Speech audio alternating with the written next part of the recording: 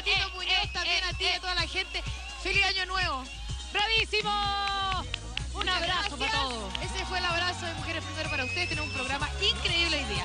Estará Ana Sol Romero con nosotros conversando de ella, de sus guaguas, de las polémicas que ha tenido con Raquel Argandoña, fíjese. Ay, sí. por supuesto que la sí. onda. Además estará Licio Sandón hablándonos de los truquitos de maquillaje para el verano. Nadie Uno se maquilla, después se mete el chapuzón en la piscina, se tira un piquero y queda todo, todo, todo absolutamente corrido. Vamos a tratar de que eh, nos haga un maquillaje especial para mantenernos listas durante todo el verano. Además, como ya partió el 2013, nuestra Ah.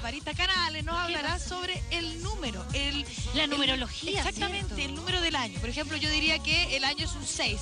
Vamos a ver qué pasa con nuestro país en 2013. Y aquí comienza Mujeres Primero. Así es, y vamos a comenzar con hombres, ¿cierto? Esa es la mejor manera de comenzar el año 2013, día 3 de enero, y haciéndole un regalito para los ojos de ¡Dos! ¡Ay, dos! Es que se me ha hecho eterno. También. 3 de diciembre, como decían. Se me echó eterno el año, dice 10 de nuestro diciembre. connotado. 2 de enero parte el año el día de hoy y eh, queremos hacerle un regalito, como les decía, para el colirio de todas ustedes en casa. Siéntese, pónganse cómodas y disfruten de los más guapetones del año 2012 y de la TV, por supuesto.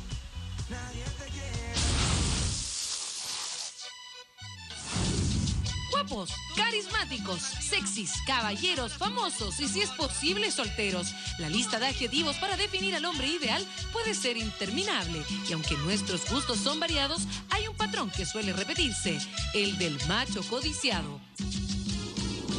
Me gusta que tenga un par de años, por lo menos más que uno, que tenga un buen sentido del humor, que te acompañe en, las cosas y que también en el fondo las cosas que a él le gustan tú puedas acompañarlo, Eh, que sea honesto. Buen mozo, exitoso, inteligente. Que sea consciente de sí mismo, que sepa perfectamente quién es, qué es lo que quiere, qué busca, cuáles son sus defectos, sus fallos, sus virtudes. Y después de eso, que sea trabajador, simpático, buen mozo, eh, que coma sano, que no le guste mucho el copete, ni salir tampoco a carretear, que sea respetuoso. que- de hombres que son exitosos, que, que les va bien en su trabajo, que tienen claro como sus objetivos de vida, que les va bien. Y yo creo que hay un factor ahí que han codiciado, no puede ser pobre tonto, tiene que tener, tiene que tener su patrimonio. Por eso, en Mujeres Primero, hicimos un recorrido minucioso y seleccionamos los siete hombres más buscados por la platea femenina. En el lugar número 7 tenemos a un guapetón que del absoluto anonimato pasó a convertirse rápidamente en uno de los galanes del momento. Agustín Pastorino hizo que las cosas entre Mariana y Roca nunca fueran las mismas.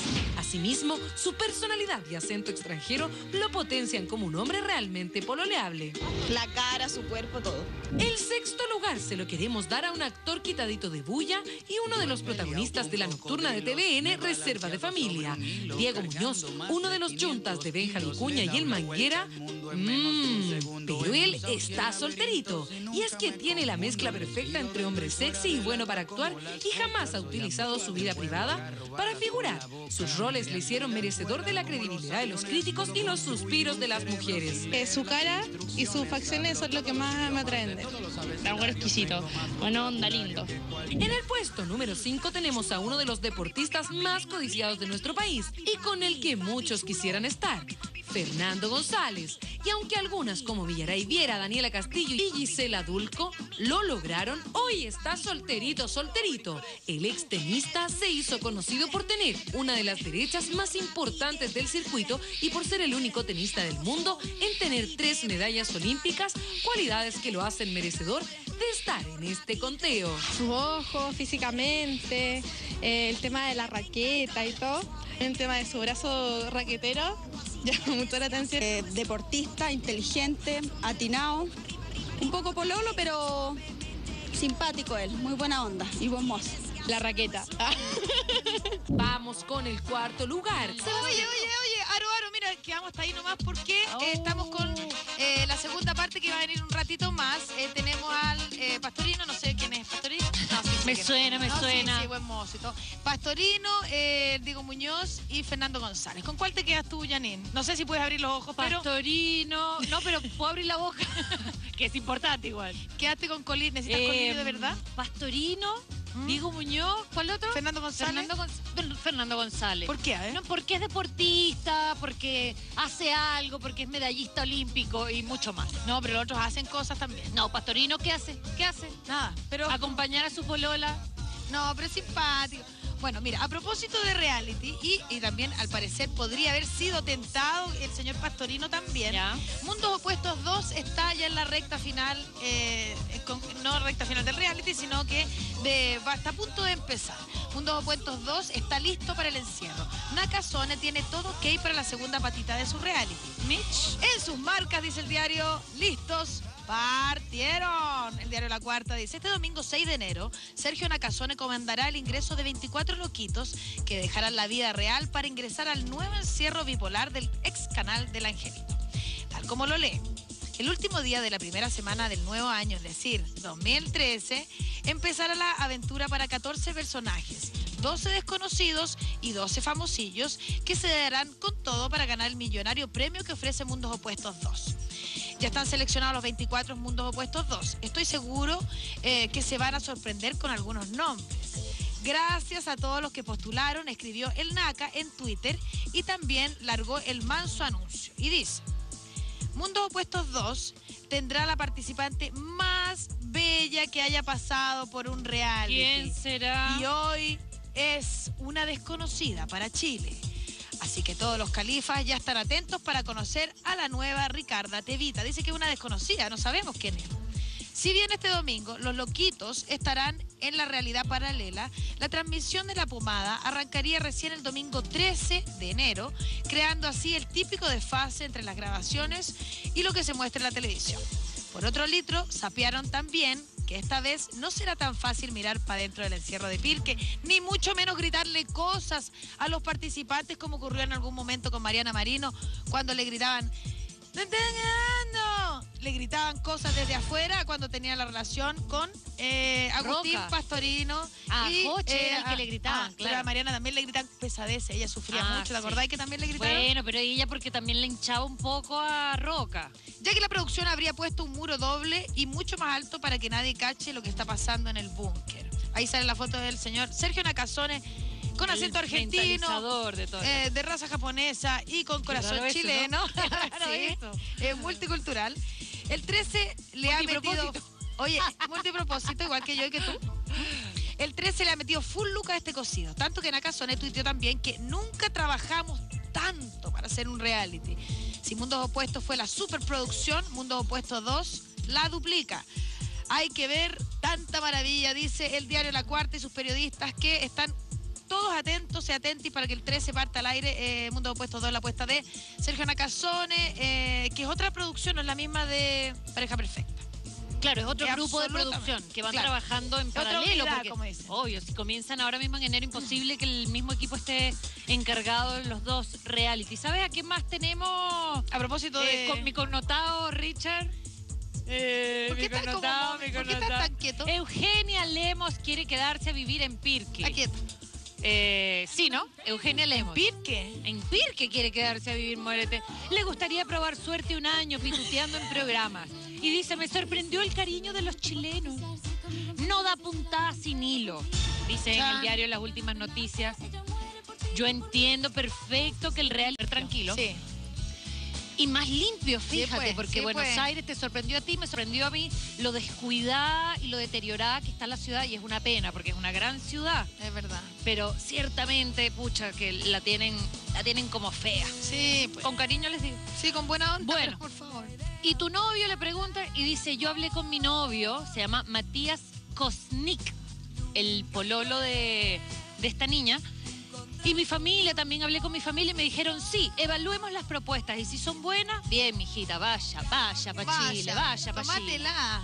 Y, y ganá y venite, ¿viste? Oye, ¿y qué más?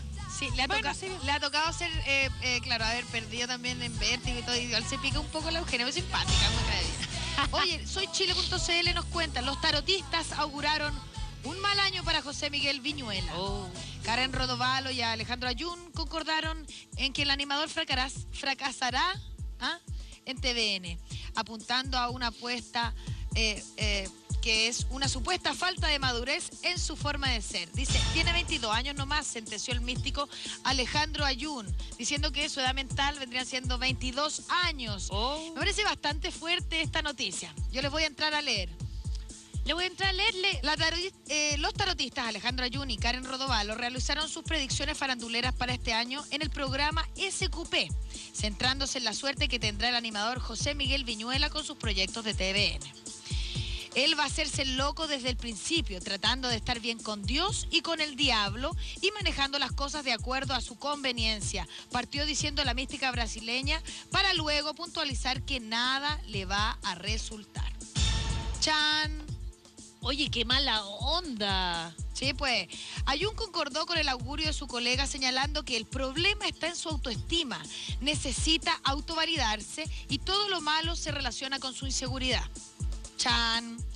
Además aseguró que no ha logrado llegar a la madurez diciendo que vio mucho desorden mucho caos en las cartas ¿ah? y que en su forma de ser tiene 22 años nomás, sentenció Alejandro Ayun.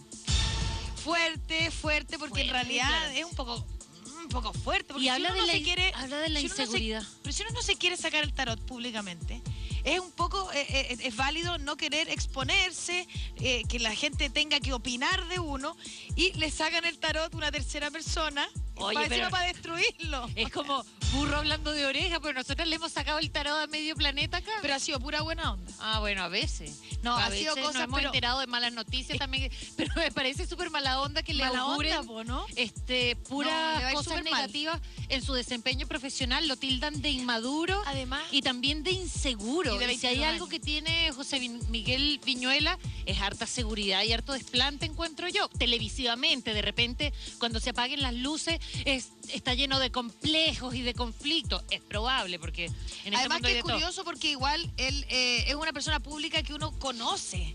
Entonces Claro. es, es muy subjetivo lo que pueda leer en el tarot, porque uno ya sabe cómo es, cómo puede reaccionar y todo. Vamos a ver, esperemos que no sea un mal año para José Miguel Vi- Viñuela, por supuesto, eh, eh, pero que sea un mejor año para nosotras, ¿no es cierto, Janine? Tengo otra es. noticia, soy chiletambién.cl, eh, se despachó la siguiente noticia. Coco Valencia y pelea con Sebastián Ramírez. Sí, me, sí. A ver, falta la coma, falta la coma, Santiago. Sí me, si me hinchó las pelotas cuatro meses y medio, iba a terminar ganándose un cariñito Sebastián. ¿Viste? Él, eh, otro era doble oficial de Negro Piñera. Ya. Oye, ¿viste que Negro Piñera en una nota me dio un beso? ¡Ay, sí! Ay, eh, estuve como un año, una semana un poco mal. Te dio un beso en la boca. Sí, ¿Y por qué? ¿A punta de qué? No, en la cadena de favores. Pero bueno, ah, te ya. leer, Bueno, después te pagaste, pagaste. pagué, el pagué el piso. El modelo aseguró que su compañero de pareja perfecta está haciendo un show con la demanda que interpondría por lesiones. Reconozco que soy súper bruto y enérgico, pero no ando por la vida maltratando a la gente, dice Coco Valencia. Oh. El ex participante del reality Pareja Perfecta Coco, Rodrigo Coco Valencia, se refirió a la recientemente desclasificada pelea a golpes que tuvo con su ex compañero de encierro, Sebastián Ramírez, acusándolo de hacer un show con la demanda judicial que, que interpondría por lesiones. Fue un juego de dos tontos como que tuvieran 15 años, eh, unos de 15, unos de 22, ¿viste? Fue un juego de dos cabros chicos como que de 15 años, que terminó muy mal, pero no tiene ninguna lesión ni nada, solo un pequeño moretón y listo, sería. Si me echó las pelotas cuatro meses y medio, iba a terminar obviamente ganándose un cariñito, dice Coco de Valencia, al programa SQP. El modelo confesó que antes del incidente se habían tomado unas copitas de más, Una poquita, Poqui- una, una cosita poca. un cortito de algo, pese a lo que tenían prohibido por la producción. Por supuesto, ellos no pueden tomar adentro del encierro.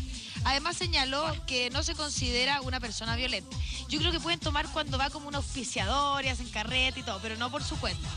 Reconozco que soy que soy súper bruto y enérgico, pero no ando por la vida maltratando a la gente, todo lo contrario. Tengo la mecha corta cuando invaden mi metro cuadrado, cuando me desordenan las camisas, cuando me sacan los cordones los calzapatos y a veces reacciono muy mal, pero no es mi estilo, dice el señor Coco Valencia, que es un ropero de tres cuerpos, bien grandote también, igual que Sebastián Ramírez, así que esa mocha era mocha de titanes. Oye, ¿sabes qué te voy a contar?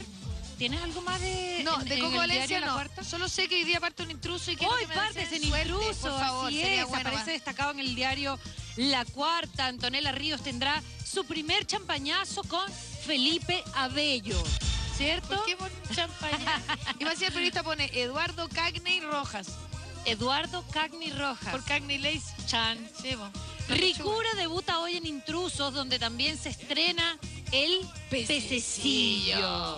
Luego de dejar a todos locos con, con su performance en la vedetón Antonella Río, o sea tú, ¿Cómo dijo que dijo? performance, Ah, muy bien. En la vedetón Antonella Río, o sea tú, Oye, qué bueno que tenemos sigue imágenes sorprendiendo.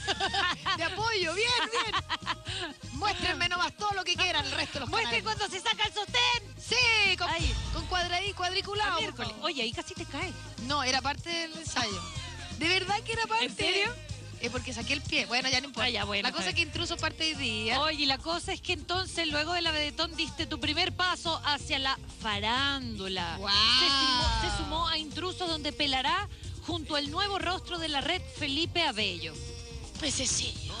Si bien en Mujeres Primero la Diosa igual parlaba acerca del mundillo del espectáculo jaguar, nunca se metió donde las papas queman. Y pero hoy esa historia se acaba y se mete de lleno en Farandulandia, así que agárrense, De las manos. de- agárrense lo que puedan. Agárrense que, Di- Janine, que di- dijiste? agárrense lo que puedan. Oye, esos Obvio. hombres me miran con un poco de la con cara de lascivo. deseo. Sí, Oye, con cara de ¿sabes lo que dijiste, Antonella, para el No, diario? no sé porque fue Quiero ser la voz del espectador. Sí, Ay, ella, la ella. espectadora. Ella, el Puma Rodríguez, escuche la voz del pueblo. Escucha, escucha. ¿Quiere escuchar ¿Cómo se escucha? cómo se escucha? No, y sí, opinar como lo haría nerviosa. cualquier persona en la casa. Por eso seré menos ruda y más divertida. Sí, no quiero ser ruda, imagínate andar pesada. Pero a Oye. veces cuando uno tendrá que opinar cuando tenga que opinar, opina. Y Obvio. cuando no, y cuando no quiera. opina. Y cuando no, cuando no. no quiere, claro. Sí, obvio. Mijita con cuco por descartucharte en intruso, para nada, dice Antonella.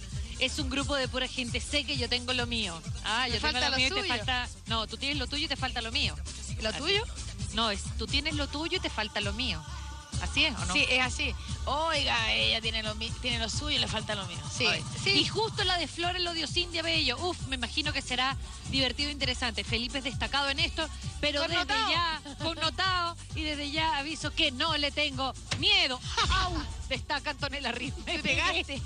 Oye, a propósito de esta noticia de que yo parto en la farándula, en el fondo de una farándula particular, dentro de mi cabeza hay una farándula interna, voy a pedirle muchos consejos a nuestra próxima invitada porque ella también Cierto. estuvo de lleno y está de lleno conduciendo un programa en UCB Televisión.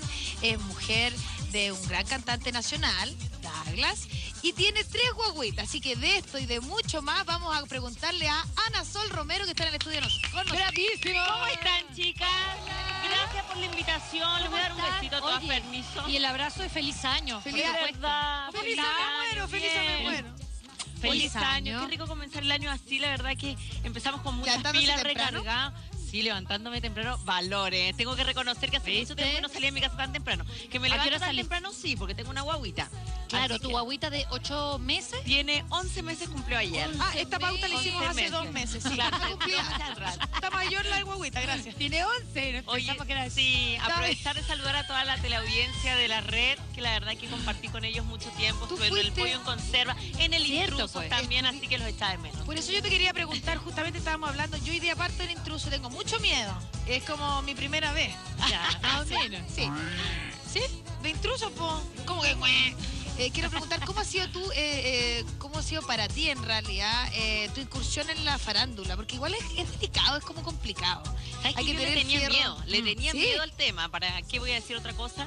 Pero, eh, bueno, a mí quien, quien me incentivó un poquito y que me convenció y que la verdad que me dio seguridad fue Francisca Correa, que era eh, es la, gerente general de, de de UCB, donde estaba yo.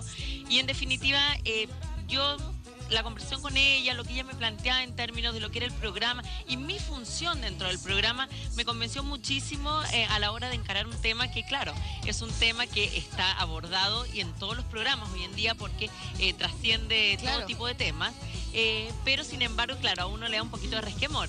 Pero sin embargo, fíjate que Pero ¿qué es lo que te da positivo. resquemor? Que, que tu vida también se exponga. No, o sea, no, que si no, tú estás comentando de farándula también, digamos, tengas que tener eh, piel de chancho para que te caiga encima en cualquier momento? La verdad que cuero chancho no tengo, ¿eh? Ah, no ya. tengo. Yo siento las cosas, a mí me duelen, a mí me llegan y, y eso, bueno, era uno de los puntos, pero la verdad que cuando uno nada hace, nada teme, por lo tanto no tenía miedo de, de verme expuesta en ningún sentido. Sí ver expuesto, no sé, que alguien en vez de eh, responderme a mí, porque hay gente que responde y responde demasiado deslenguadamente y, y no mide las cosas que dice, y no me atacaran a mí, sino que atacaran a mi marido, que también Claro. está dentro del medio y que no tiene nada que ver y Por que tampoco y no ¿Tú te- comparte. ¿Tú te refieres al caso específico que pasó con eh, Raquel Argandoña cuando ella No, no. insinuó que tú habrías ido a hacer un ataque de celos? No, me refiero a todos. A to- porque la programa de que- baile.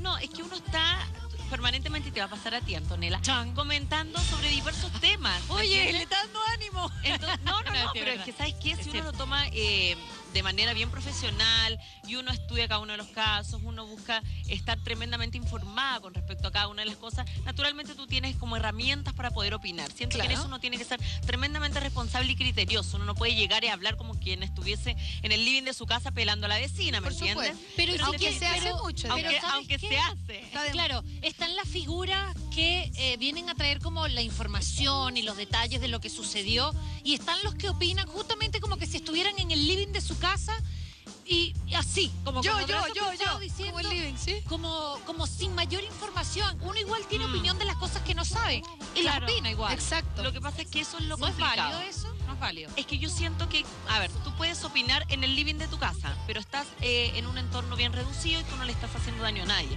Si tú opinas descriteriadamente, si tú opinas como eh, que, que te dan por hecho una situación que quizás tú ni siquiera sabes si esa situación fue real o no, Claro. públicamente, ahí estás siendo irresponsable, creo yo, porque hay un montón de gente que te está mirando a través de la pantalla y que cree en lo que tú dices. Por Claro. lo tanto, da por hecho lo que tú estás planteando. Pero si tú estás diciendo que es una opinión y que es tu opinión Eh, claro. absolutamente personal, es que es muy no, no tendrían ni por qué creerte. Pueden compartir Exacto, o no contigo. no tienen por qué creerte exacto. porque no estás dando información. Estás opinando, ¿no? Claro, en el fondo uno tendría que ser muy, eh, uno, yo pensar que si yo opino algo que la gente está en desacuerdo, yo considerarme un líder de opinión que mueva masas. En realidad no es el caso, no es mi caso, porque No, yo siento Porque que todos los que estamos frente a la una- pantalla somos comunicadores y en definitiva somos una especie de líder de opinión y ayudamos muchísimo y te- en ese sentido creo que tenemos que ser responsables. Oye, Sol, transmitir tengo una pregunta para ti. Dígame. Que también la quiere hacer la Janine. A ver, Janine. Dale. Es la misma. Dentro del 2012 que ya se nos fue, ¿cuál vendría siendo la noticia farandulera más importante, eh, más significativa Más de este año? Más connotada. como- connotada. Con nota.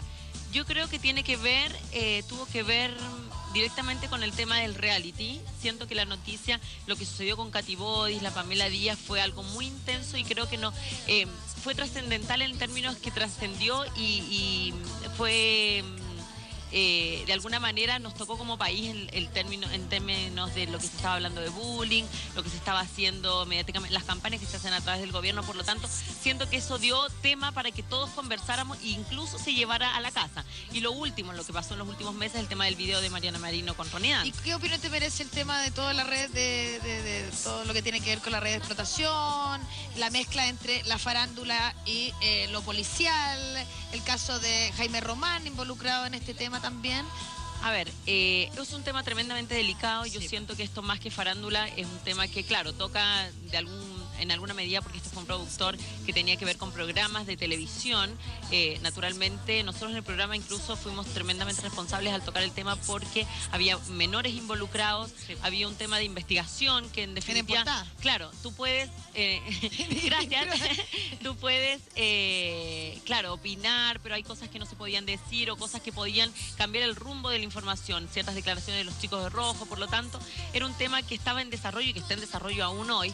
Por lo tanto, eh, esos temas son como más, mucho más delicados en- para, como para llegar y emitir una opinión con respecto a o Menos sea, farandulero y más menos delictual. farandulero, creo yo. Sí, pues complicado. A, ni- a inicios de año pasado, el 2012, recuerdo la filtración del vide- de la llamada telefónica de Daniel Arangui. Ah, que Cuica. fue total. El Karen Total, claro. Esto de que no supieras que te estaban grabando y se atreviera a decir, ah, lo que le salía como del útero, así del cuello uterino, vomitarlo. Yo creo que fue como una catarsis Fue- de la fue Daniela. La, de- la verdad que la Daniela tenía un Oye, año intenso. Pero pasaba para la punta. Pasaba para la Tengo punta. la pura cara de completo. Lo estaba estábamos comentando como los videos más, yo qué sé, al lagarto Murdoch, a la tía Patty, a la Daniela Arangui, estábamos revisando en YouTube. frase. Oye, no podía creer escuchar ese video, ese audio completo, escuchar cómo se escucha. Escuchar cómo en se el audio escucha. completo.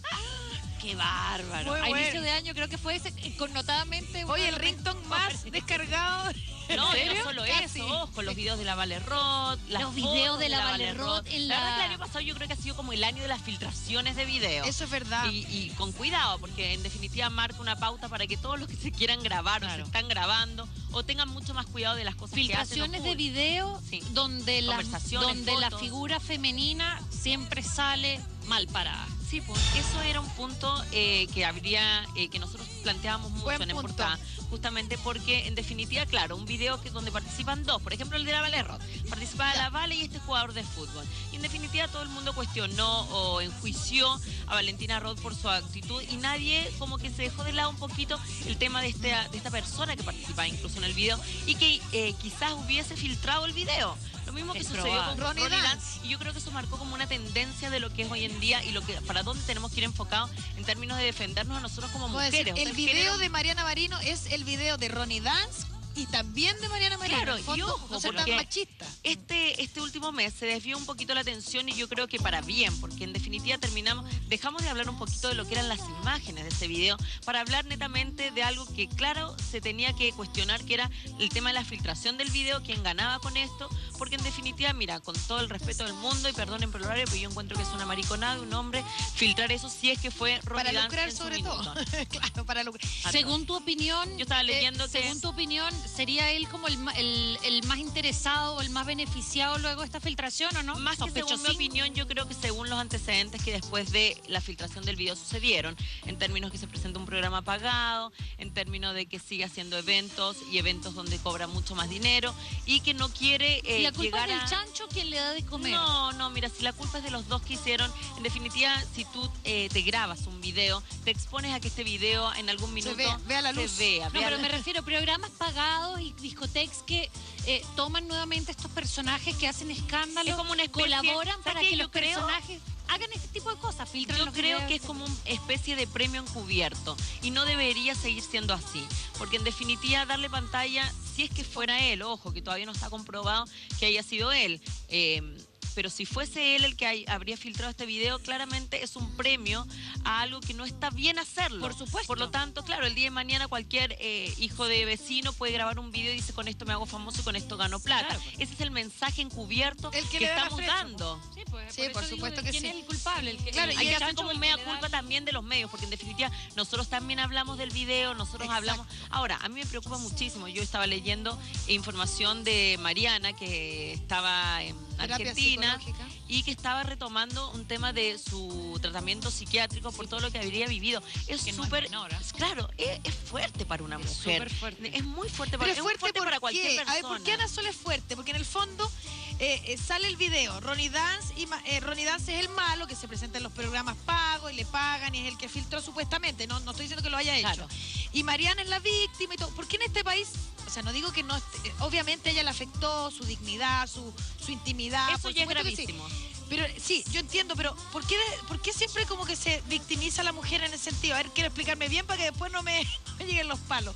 Eh, en el fondo, ¿por qué no decir de alguna manera, sí, soy yo y ya está? Y listo, ¿y qué? ¿Y qué? Y salí yo y punto. Bueno, yo estoy diciendo, esto es- se grabó en el ámbito privado, pero ¿por qué no dar vuelta a la mano? Por ejemplo, si a mí me encontraron un video en pelota, bueno, no en pelota, ya me han visto en No pelota, pero eh, no la he editado, pero un video teniendo relaciones sensuales con un hombre, ¿qué tendría que hacer yo? Decir, sí, soy yo. ¿Y qué? Tendría que ser, aunque me afecte y todo. En el fondo, la carga social hace que uno se enferme. No necesariamente el video, en la exposición de un video.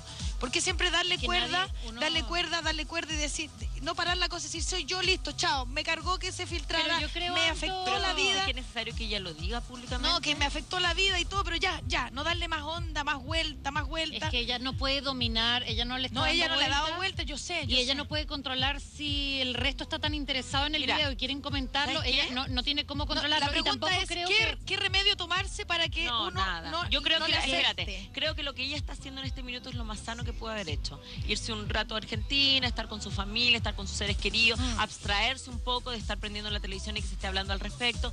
Mira, fíjate, yo estaba hablando con...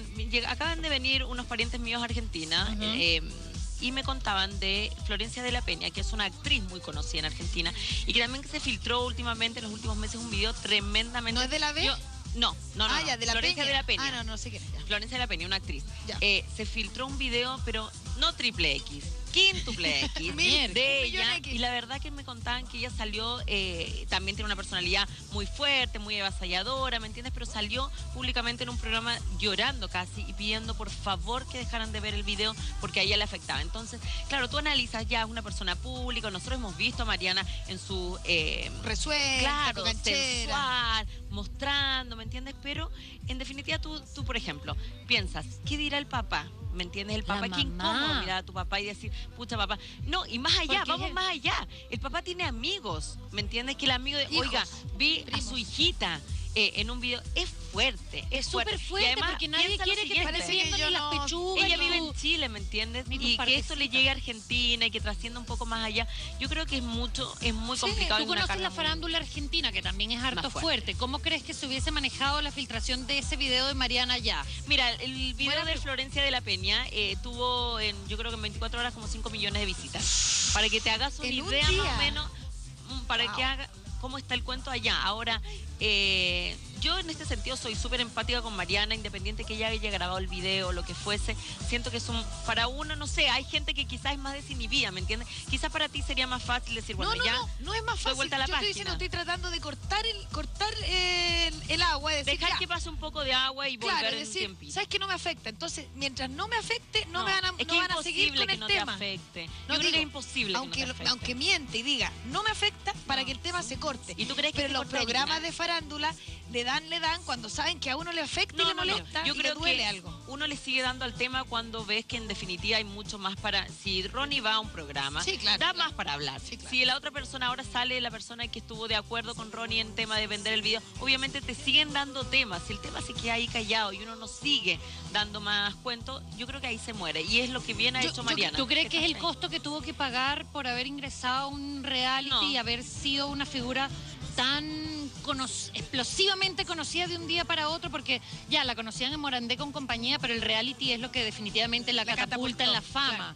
Es el costo de... Me refiero no al hecho de No, que se entiendo. filtrara, sino al, al- a que se generara este interés y este morboso interés por parte del público que finalmente son los que hacen ingresando un millón de veces a ver el video, claro. es lo que hace que los programas y la prensa y todo el mundo lo pongan en el tapete. si a la gente no le interesara, el programa no lo recoge. Claramente ella se hizo un personaje mucho más atractivo, mucho más interesante, en términos que conocimos un poco más de su vida y más, más, más acerca de ella, por lo tanto uno busca como la quinta o ver más allá de lo que uno puede ver en la televisión. Ahora, yo creo que más que el costo de eso es el costo de, de andar con tipos que en definitiva te Es que ahí está el punto. El punto no es el video en sí mismo, el No. punto es que un maldito Mamarracho. insecto filtre este video siendo Escúchame, pareja, ¿hace cuántos supuestamente, años lleva ese video? siendo haber sido pareja de ella. Eso no se hace. Ese, ese es el punto. Un hombre no hace eso. Exactamente. Un hombre no hace eso. Un Y más caballero, si tú digamos. tuviste una relación. No, un hombre, vamos a decirle. Porque si tú tuviste una relación con Tampoco esa persona, ir a darse si te amó, si te quiso, si te protegió, tiene que respetarte. Es que independiente que hayas punto. terminado con él. Al margen del video en sí mismo, que era bastante fome, por lo demás, y de lejos, y oscuro, y, Y que lo deja no mal parado también. y lo era deja todo... pésimamente parado. Pero, claro, no era tan tieso, dicen Ronnie, al final... Bueno, en fin, el punto es que, en el fondo, alguien que tú quisiste mucho, que No. tuviste confianza, se transforma en tu peor enemigo, más que el Eso no puede rabia, ¿no? Es no como la- el doble, yo creo que el golpe es por, por, Y por plata. doble- Pueden vender hasta la mamá. Y lo que como la, de- contaban- la decepción de lo que tú estás diciendo, de que alguien al que tú quisiste, con el que te ibas a casar, además, Sí, eh, pues, se preste para algo así, porque al ir a un programa, mira, él puede decir, no, yo no lo filtré, pero una vez que acepta ir a un programa pagado y lucrar con eso, Fíjate que ahí Víctor Gutiérrez. eh, sacando como la... Sí. Ah, Tú dijiste que Víctor Gutiérrez sí, era la el animador de. Yo- ¿Sabías tú eso? Sí, Muy sí, bien. oye, pero mil felicitaciones. Hoy empieza también, ¿no es cierto? Toda la suerte, todas la- las buenas vibras, porque lo va a hacer increíble, yo creo. Oye, eh, Víctor Gutiérrez, yo lo escuché en Mentiras Verdaderas justo esa semana, y él decía que había hablado con Ronnie Dance al respecto y que le dijo, yo supongo que tú no vas a ir a un programa pagado eh, a cobrar o vas a ir a un programa, pero vas a contar tu verdad sin cobrar nada. Claro, claro. Porque si no se presta, y él comentaba que él se había quedado incluso callado. Entonces, si esto estuvo maquinado, peor aún, ¿me entiendes? Volvemos a insistir, no fue, no, no tenemos la certeza si él haya sido Claro. el que filtró este video, pero Oye, mira, pero- las cosas no hay que serlas, sino también parecerlas. Sí, Sí, lo porque además le deslegitima. Preguntaban ¿Cierto? por el video y él decía, no sé cuál video, no lo he visto. Entonces había ¿Cómo no vas a ver muchos el video? videos. No, pero es que escúchame. No ¿cómo lo he visto, decía, Él ¿te decía, claro, me No, no llamaron lo he y yo visto. todavía no he visto el video. ¿Cómo si a ti te llaman? A cualquier persona. Nosotros Sí. lo hacíamos con cualquier... eh, Sí, hicimos un ejercicio en el estudio. A ver, si a ti te llaman y te dicen, hay un video tuyo.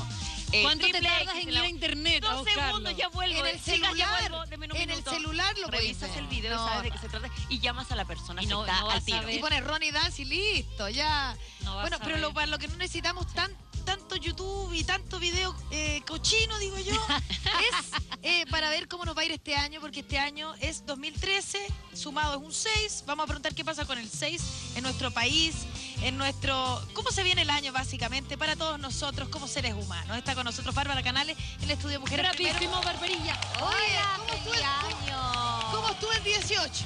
Del 18.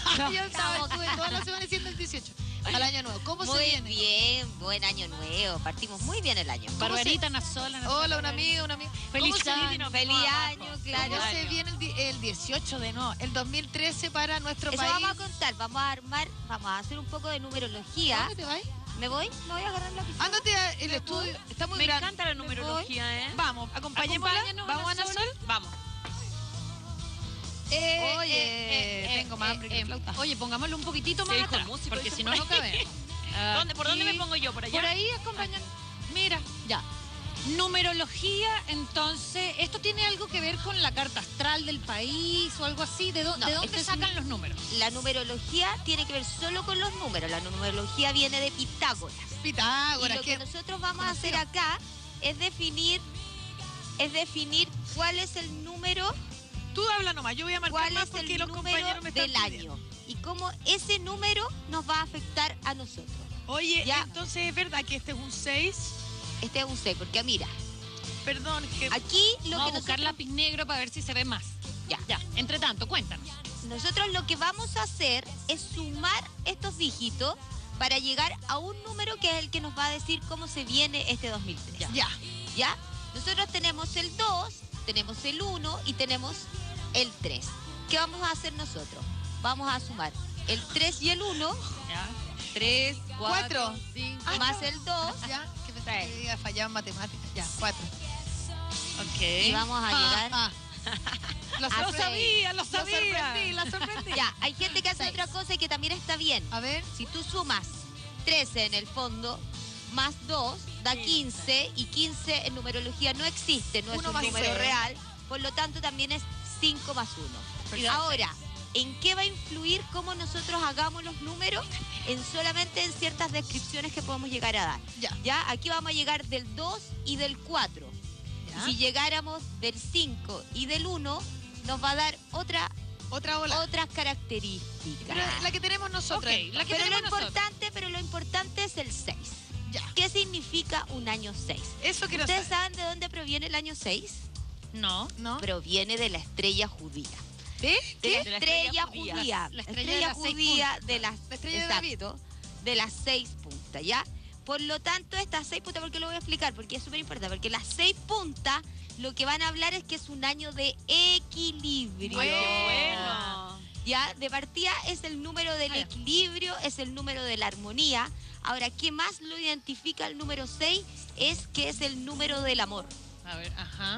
¿ya? El amor. Del amor. Por lo tanto, este es un año equilibrado, El amor. El amor. Ay. Armonioso. El amor. De mucho amor.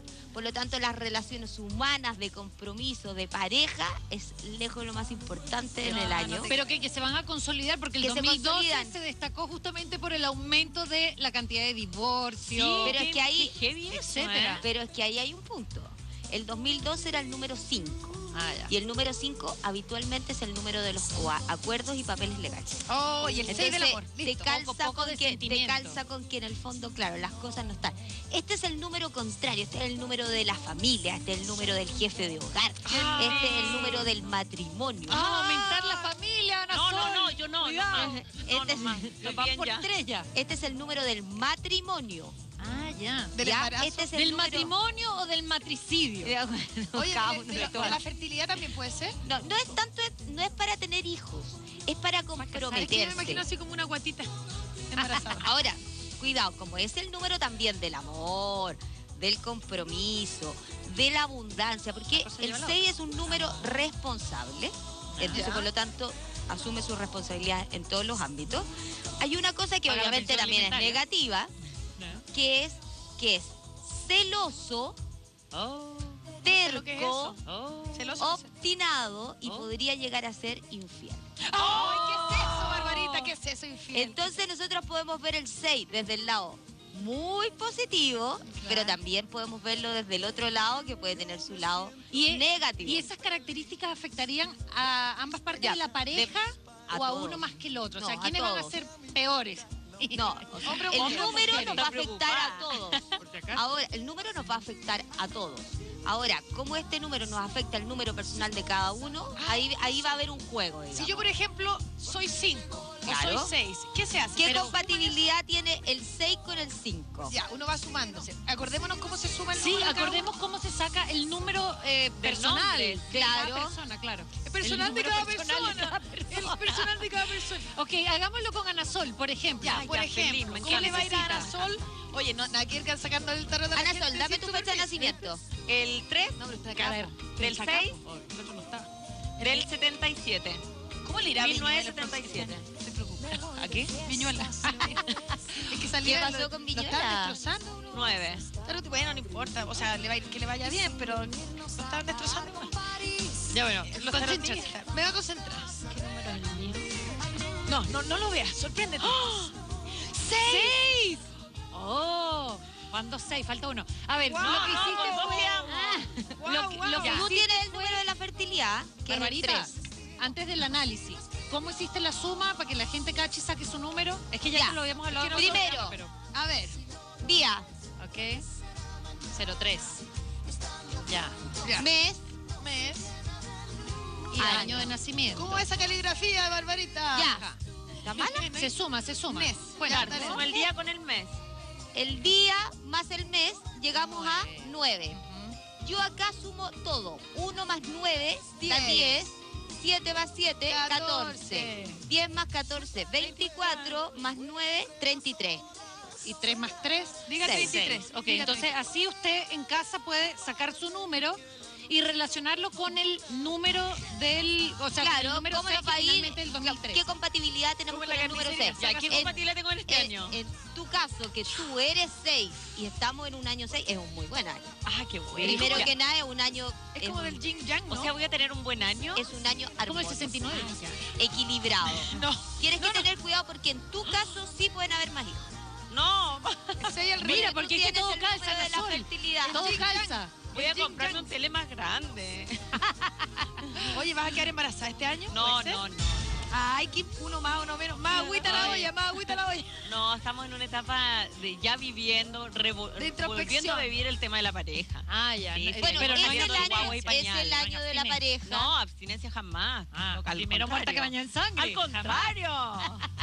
Oye, bueno, pero el número 6 es, es el número de la pareja, el número del amor, el Pero número bueno, de entonces. equilibrar, de comprometerse. Ahora, el número 6 es un número intenso, terco, obstinado. No es de una personalidad tan fácil. Y en la No, pega, no, en la pega no. el seis. Mira, tengo el 6, geminiana. Yo digo, siempre ando con mis dos gemelas. Hoy vengo con mi gemela malo, mi gemela buena. Y además soy serpiente de fuego. Y es, Y es tu el año de el la año la serpiente. serpiente. de fuego. De De agua. agua. Ah, bueno. Pero igual es el año de la serpiente. Igual ¿no? es el año de la Igual serpiente. no, Si elementos, el ele- año. es tu año por todo. Oye, entonces qué y en el trabajo hablamos del amor, que va a ser un año de amor, el 6 es amoroso, es compatibilidad, amoroso. O sea, se ¿Qué pasa destaca con como, el número con el- como, como el número del amor. Pero a nivel laboral, primero que nada, a nivel económico es un año de abundancia. El número, con un 6, asado. el número 6 cosecha. Maravilloso. Cosecha. Por lo tanto, este es el año donde debieran llegar todas las cosechas o todas aquellas cosas que nosotros ya dejamos plantadas o queremos plantas Ay, que lleguen o bueno. buenos Sembradas. resultados, Claro. buenos resultados económicos. Ya. Ahora, a nivel laboral es un año de cambios. Pueden haber movimientos, porque es un año donde tú vas a tener el poder. Oh, no lo tienes por excelente. ti. encantó. Oye, habló pero de me Ahora, Ana Sol mira. Romero. Ana Sol Romero nos, eh, nos conta- contaba en una entrevista que quería hacer un programa de mujeres femenino. ¿Cómo? Chan. No, ¿Cómo chicas, si no les quiero sacar la No, no te. No, ¿A qué hora? ¿A qué hora? UCB televisión Y hay una niña. sacar. Ah, ocho- de 8 a 9 y media, dices tú. No te preocupes. ¿Qué temas te gustaría tocar? No te preocupes. ¿Qué temas te gustaría tocar? Anoten. Eh, Porque después le cuento. En, en- en canal, en tu canal hay un programa, un espacio femenino, eh, como a las Sí, tengo entendido de- que hay un programa femenino. Lo que pasa es que me planteaban el tema, yo escribo en una, en un- escribo una columna en una revista online que se llama bcmagazine.cl y que tiene que ver especialmente con todos estos temas de mujeres. Yo siento que hoy en día las mujeres, bueno, ustedes mismas lo deben vivir porque lo ven acá diariamente, representamos, representan también al género de las mujeres. Bueno, que hoy en sí. día las mujeres tenemos que cumplir 10.000 roles. Somos mamás, somos dueñas de casa, trabajamos y la verdad que todos eh, nos exigen y nos autoexigimos muchísimo. Como Por lo tanto, ser. siento, eh, no, es que creo que nos autoexigimos mucho más de lo que deberíamos. ¿Tú crees? Deberíamos tener más libertad para sentirnos un poco más libres en términos, no, queremos ser súper mamás, queremos ser súper esposas, queremos ser súper eh, en la pega, ¿me entiendes? Y la verdad que... Y eh, queremos un superhombre. Claro, pero no nos damos tiempo para disfrutarnos, no nos damos tiempo, no sé, para relajarnos un ratito sin tener las culpas de dejar a nuestro hijo un ratito más, para ir a la peluquería, para ir, no sé, a juntarnos con una amiga Yo conversar. no tengo tanta ¿Me culpa entiendes? Yo siento que Parece que no per- se autoexige tanto, Antonella. Bueno, está bien, estás viviendo y es bueno vivir eso. Es bueno Sí, relajarse un poquito. Pero en general es verdad lo que dice. Es verdad lo que Y dice. esa partner es una mujer también, ¿me Ah, sí, entiendes? es verdad. Porque ¿Que claro, uno puede mejor amiga? Uno puede compartir con el- la pareja, puede sentirse acompañada, Mm. pero en definitiva necesitamos esa mujer que esté al lado nuestro y que nos esté diciendo, ¿sabes qué? No te preocupes, a mí también me pasa. Yo también me siento culpable si estoy dos horas más fuera de mi casa de lo que debería. Pero un poco Yo también estoy la vuelta loca con el tema de las tareas de los niños del colegio. ¿me Ana Sol? ¿no es un poco machista esa visión de decir la mujer tiene que ser perfecta? O sea, en el fondo nosotras mismas nos exigimos, muy cierto. Vivimos en un país Pero que porque es nuestras mamás de repente nos crían de una manera que tenemos que ser perfectas en todo. Buenas amantes, Exacto. por ejemplo, eh, buenas cocineras. Bueno, ahí, ahí como que doy un paso al lado en general. Pero, Pero eh, en buen amante no. Por lo mismo. No, en buen amante, ya tú sabes. Eh. ah. Ah, no, pero en general es una cosa que está impuesta. No necesariamente nosotros lo- nos autoexigimos. Yo creo que Por lo una cosa que uno yo- tiene que rendir, claro, rendir, Yo rendir. partí diciendo, la sociedad nos exige a Exacto. nosotras ser el 100% en todo lo que tenemos que hacer y nosotras nos autoexigimos también Pero hacerlo. rebelémonos contra eso. Es que ese es el minuto. Sí. Eso es lo que yo quiero. Y eso Eso. es lo que yo planteaba, ponte, en las columnas que yo escribo. El tema, no rebelarse y ir en contra del mundo, sino decir, ¿saben qué? Yo también me merezco quererme a mí misma, yo también me merezco tener mi minuto. Yo siempre le, y les pongo en el Twitter a, todos los que me siguen, pero en definitiva empatizo muchísimo con las mujeres. Chicas, hoy es nuestro día. Hoy tenemos que brillarles. pongo. Brillar, Porque la luz la brillar. llevamos dentro, ¿me entiendes? Entonces nosotros, depende de nosotras mismas sentirnos lindas, sentirnos eh, eh, capaces de hacerlo todo, Sí, pues. sentirnos que podemos, en definitiva, cumplir todas las cosas que nos estamos planteando. Pero sin eso es autoexigirse, Sin pues. culpa. Eso es Es que exigirse y uno establecer rato- prioridades, Perdón, por perdón. ejemplo, establecer prioridades. Pareja, familia, pega. Y tratar de ser lo mejor posible en, Dentro de lo que hago. dentro de creo- tus capacidades. Con lo que yo amo a mi marido, con lo que amo por sobre todas las cosas a mis hijas, yo creo que las prioridades parten diciendo, me amo a mí misma. Exacto. Y en base a eso empiezas a amar al resto, porque es la mejor forma de poder eh, lidiar con todas las cosas que uno tiene que hacerlo di- a diario y no terminar reventada. Hay mujeres que salen, no sé, a las 5 de la mañana, 6 de la mañana de su casa, llegan a las 7 muertas de cansancio. Incluso ahí se le exige que la comida, que los niños, que y una también. Hay muchas mujeres eso. que, sin que nadie se lo pida, ellas no, no se ponen a sí mismas como prioridad.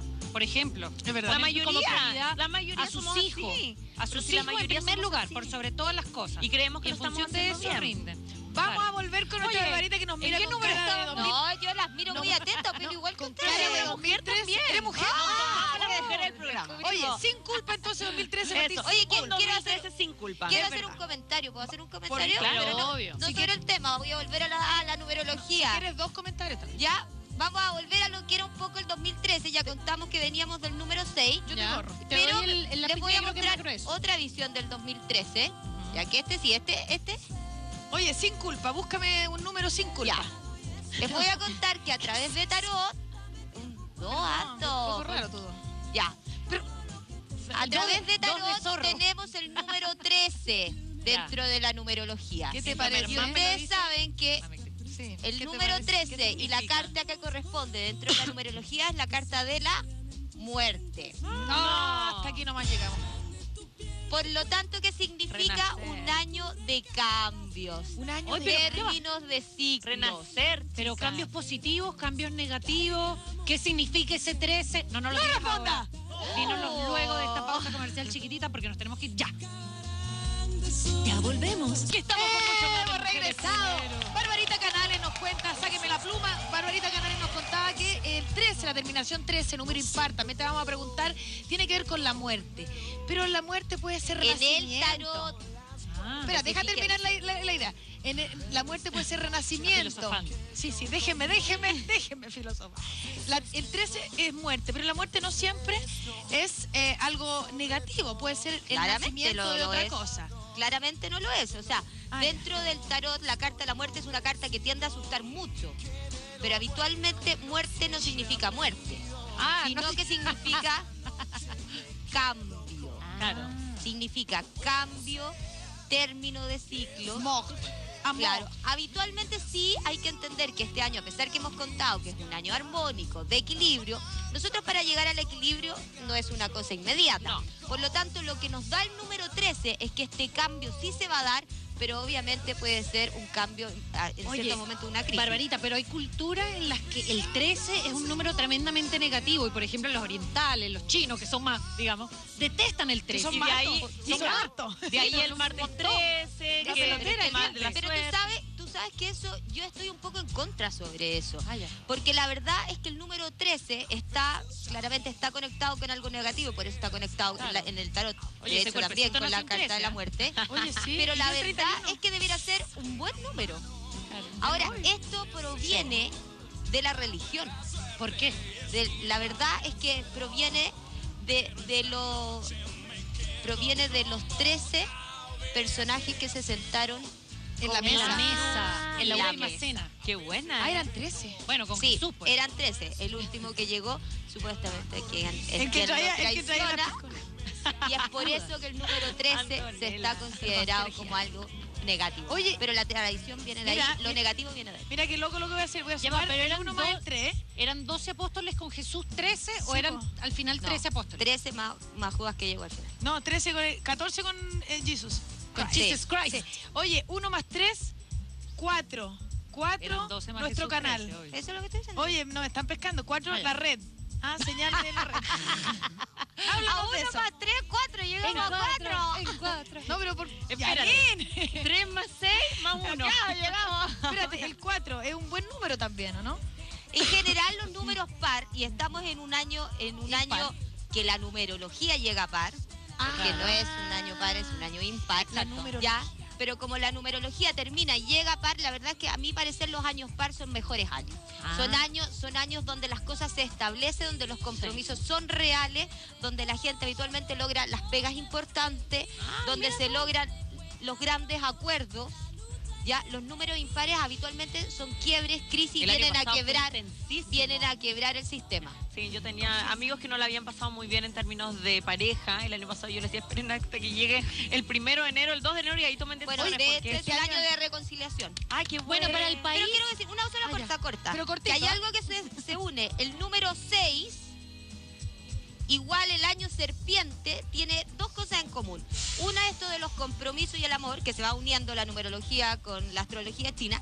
Y lo otro, las tentaciones e infidelidad. Insisto que es un año tentador. Ay, no me digáis eso, Barbarita. La eso, para que después no hayan... ¿Por qué me miras a mí? No, yo no miro a nadie. ¿Y tú, tú aconsejas que la gente caiga en la No, tentación? yo aconsejo que la gente sepa bien lo que va a hacer. Y, y Lo haga las piense, cosas lo correctamente. piense. Enchufe. Que lo piense, de nada a uno, más. De a uno, de a uno, de a uno. Claro. Vayan Ya, pasando por ¿Qué aquí. era lo que usted me quería preguntar? Que yo le, que yo le rompí todo el desorden. ¿Qué me iba a preguntar? No, yo, yo, ¿Sí? ¿Usted me no, iba a algo iba a yo filosofar un yo iba a filosofar, pero creo que ha sido Se acabó.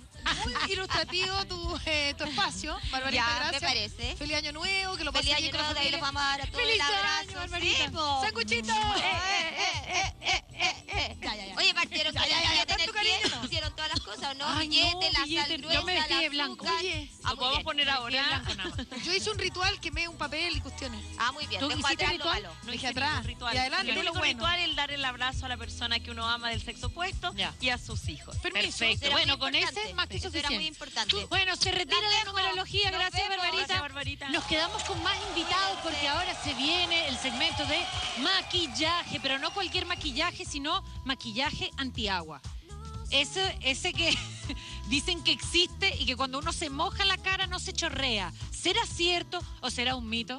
Vamos, a ver. si es verdad cierto. Licio Sandón nos acompaña, reconocida maquillada. Véngase, amiga, véngase, que ahí no la están viendo. Saludar. Feliz año Feliz nuevo. año. Que entre a la mesa con Bienvenida, mujeres primero. Harrison Ford. Feliz año, Feliz año. Eh, Oye, Harrison Ford. Ana Sol Romero, nuestra invitada. Sí, nos Mira, vimos. nos vimos. Y nuestra Nos modelo. días, estupenda. sí, ya nos vimos. Nuestra modelo. Estupenda. Oye, Tenemos maquillaje antiagua, porque ahora nos vamos a la playa, estamos sudando como chancho todo el día y todo se nos chorrea. ¿o Es no? un tema, es un tema. ¿Cierto? Ahora, ¿Nos están sí. estafando cuando nos venden un maquillaje antiagua o no? Waterproof.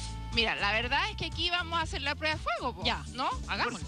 Mira, ¿Por dónde una cosa, una cosa es el maquillaje profesional que uno compra, ¿no es cierto? Y que yo me voy a la segura cuando yo maquillo a mis chiquillas, a mis clientas. Pero aquí la idea es tener maquillaje que nosotros tengamos en la casa, que podamos comprar fácilmente en el supermercado y que es O waterproof. farmacia, claro. O farmacia, exactamente. Démosle, Entonces, démosle, pongámosle démosle, démosle. patita. Entonces, la idea primero es usar agua de rosas o agua termal. Ya, perfecto. ¿Ya? Ah, ya. Entonces, eso agua termal, a mí yo no sé por qué me siento maravilloso. como engañada, así la palabra termal ya me suena a estafa. No, no. Janine, estamos en Chile. Yo agua con el. Como que le meten agua del caño normal, al- te la No. Janine, además estamos en Chile. ¿Es agua termal? Es agua, agua termal. termal, es Ah, muy ya. buena y empezar para bajar las rojeces de la cara. No, sí Así que, no hay que contradecir sin a susto primero vamos a poner Ya, dale no, agua termal. No, no. agua termal. Ahí va, ¿ves? Sí. Aquí mía, agua la mía es la que me va a caer.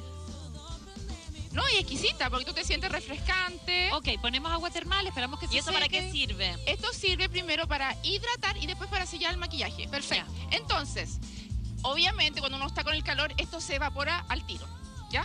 La idea es que se absorba, ¿no? Se absorbe Ya. al tiro, al tiro, al tiro.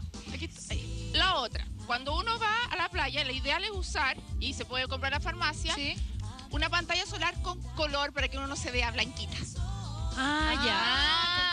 Sí, ya. ¿ves? Protector solar con color. Exacto, hay que cuidarse mucho de eso. ¿Ves que es con color? Sí, sí, es la idea. En farmacia hay diferentes formas. Es como una base con protector solar. Bueno, y si no tuvieras esa y tienes tu base y que tienes sea aparte... oil free, libre de aceite. Ya. Ah, permiso que soy Lizzy, zurda, Lizzy, soy ¿está lista zurda. la carne? Lizzy, te tengo una pregunta. Ya, ya, ya, asado. voy, voy, si no voy, tienes voy. esa, si no tienes esa, sino que tienes tu protector solar por un lado y tienes la base, ¿cuál te pones primero? Primero, siempre el protector solar. Ya, perfecto. Antes ¿Y uno lo del puede aliar? maquillaje. ¿Ah? Aplicárselo aliado, por decir así. Como aliado. Mezclarlos. Aliado. La Sí. crema con el la base. También, también, También, ah, todo estupendo. se puede. Mira, estoy usando el hilo tontito, el anular. Lo que pasa es que al aplicarse antes el bloqueador yo creo que además te sirve como hidratante. Sí, claro. Para la piel y para Esto que bar- la hidrata muchísimo. ¿Ves? Siempre la Es paleta dicen nuestra... que uno se eche las cosas en desorden, da lo mismo, porque total todo queda, el- todo se junta en el estómago. Mira, con esto te O estás, sea, protege- es un estás concepto, ¿no? protegiendo del sol y a la vez Es estás hidratando tu cara Ya, y digna, sin manchas, hasta que lleguemos a la edad que tengo yo y sin echarse ni una cuestión. Ya, Claro, el listo. punto es verse bonita mientras uno se pega el chapuzón. Eh, exacto. Entonces se puso base con color y además protector solar. Protector solar. Ahora, atención amigas en casa porque estamos haciendo, vamos a hacer un maquillaje a prueba de agua. Es decir, que ella pueda entrar a la piscina o a la ducha o al o a la lavadora O manguerearse. o manguerearse, ¿por qué ¿no? no? Claro. Sensuales, Eh, que pueden no se le corra el Dale maquillaje. nomás. Dale, son- Lizzy. eh, me encan- se me había olvidado los peluzonas que eran. Ya.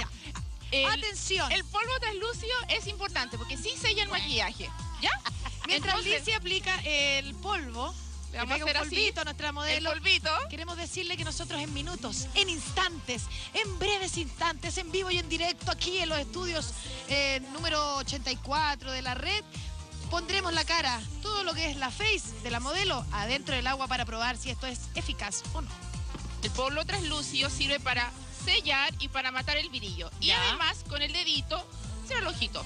Mira, este es un tip que les doy Ok, para matar el brillo de los párpados. matémoslo. Mateo. Mateo, quien quiera muy bien. Muera el brillo. Muera el Eso. párpado. Eso ayuda para después, si uno quiere aplicar delineador, no tenga contacto directo con la piel. Ok. ¿Ya? Ahora, lo más importante es el delineador y la máscara, que es la que en Lo que se definitiva corre. se corre se chorrea. Si tú te tiras un chapuzón ahora, No, No. es más. no. Yo voy a yo aplicar el puedo. rubor. A ver, Janine. No, en no crema.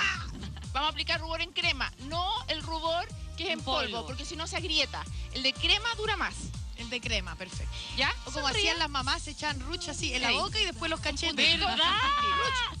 Y mi mamá Y se ahí, pinta así, mi mamá se pinta así. Mira, es eso, es eso lo que está haciendo Lizzy, tal Uh, cual. uh, uh. La boca, la boca. ¿Ves? Que queda mucho más natural y ¿Qué hará pongan boca siempre para primero el rubor acá, ¿Acá en dónde? en la paleta de nuestro... Aquí, mira, A ver. aquí.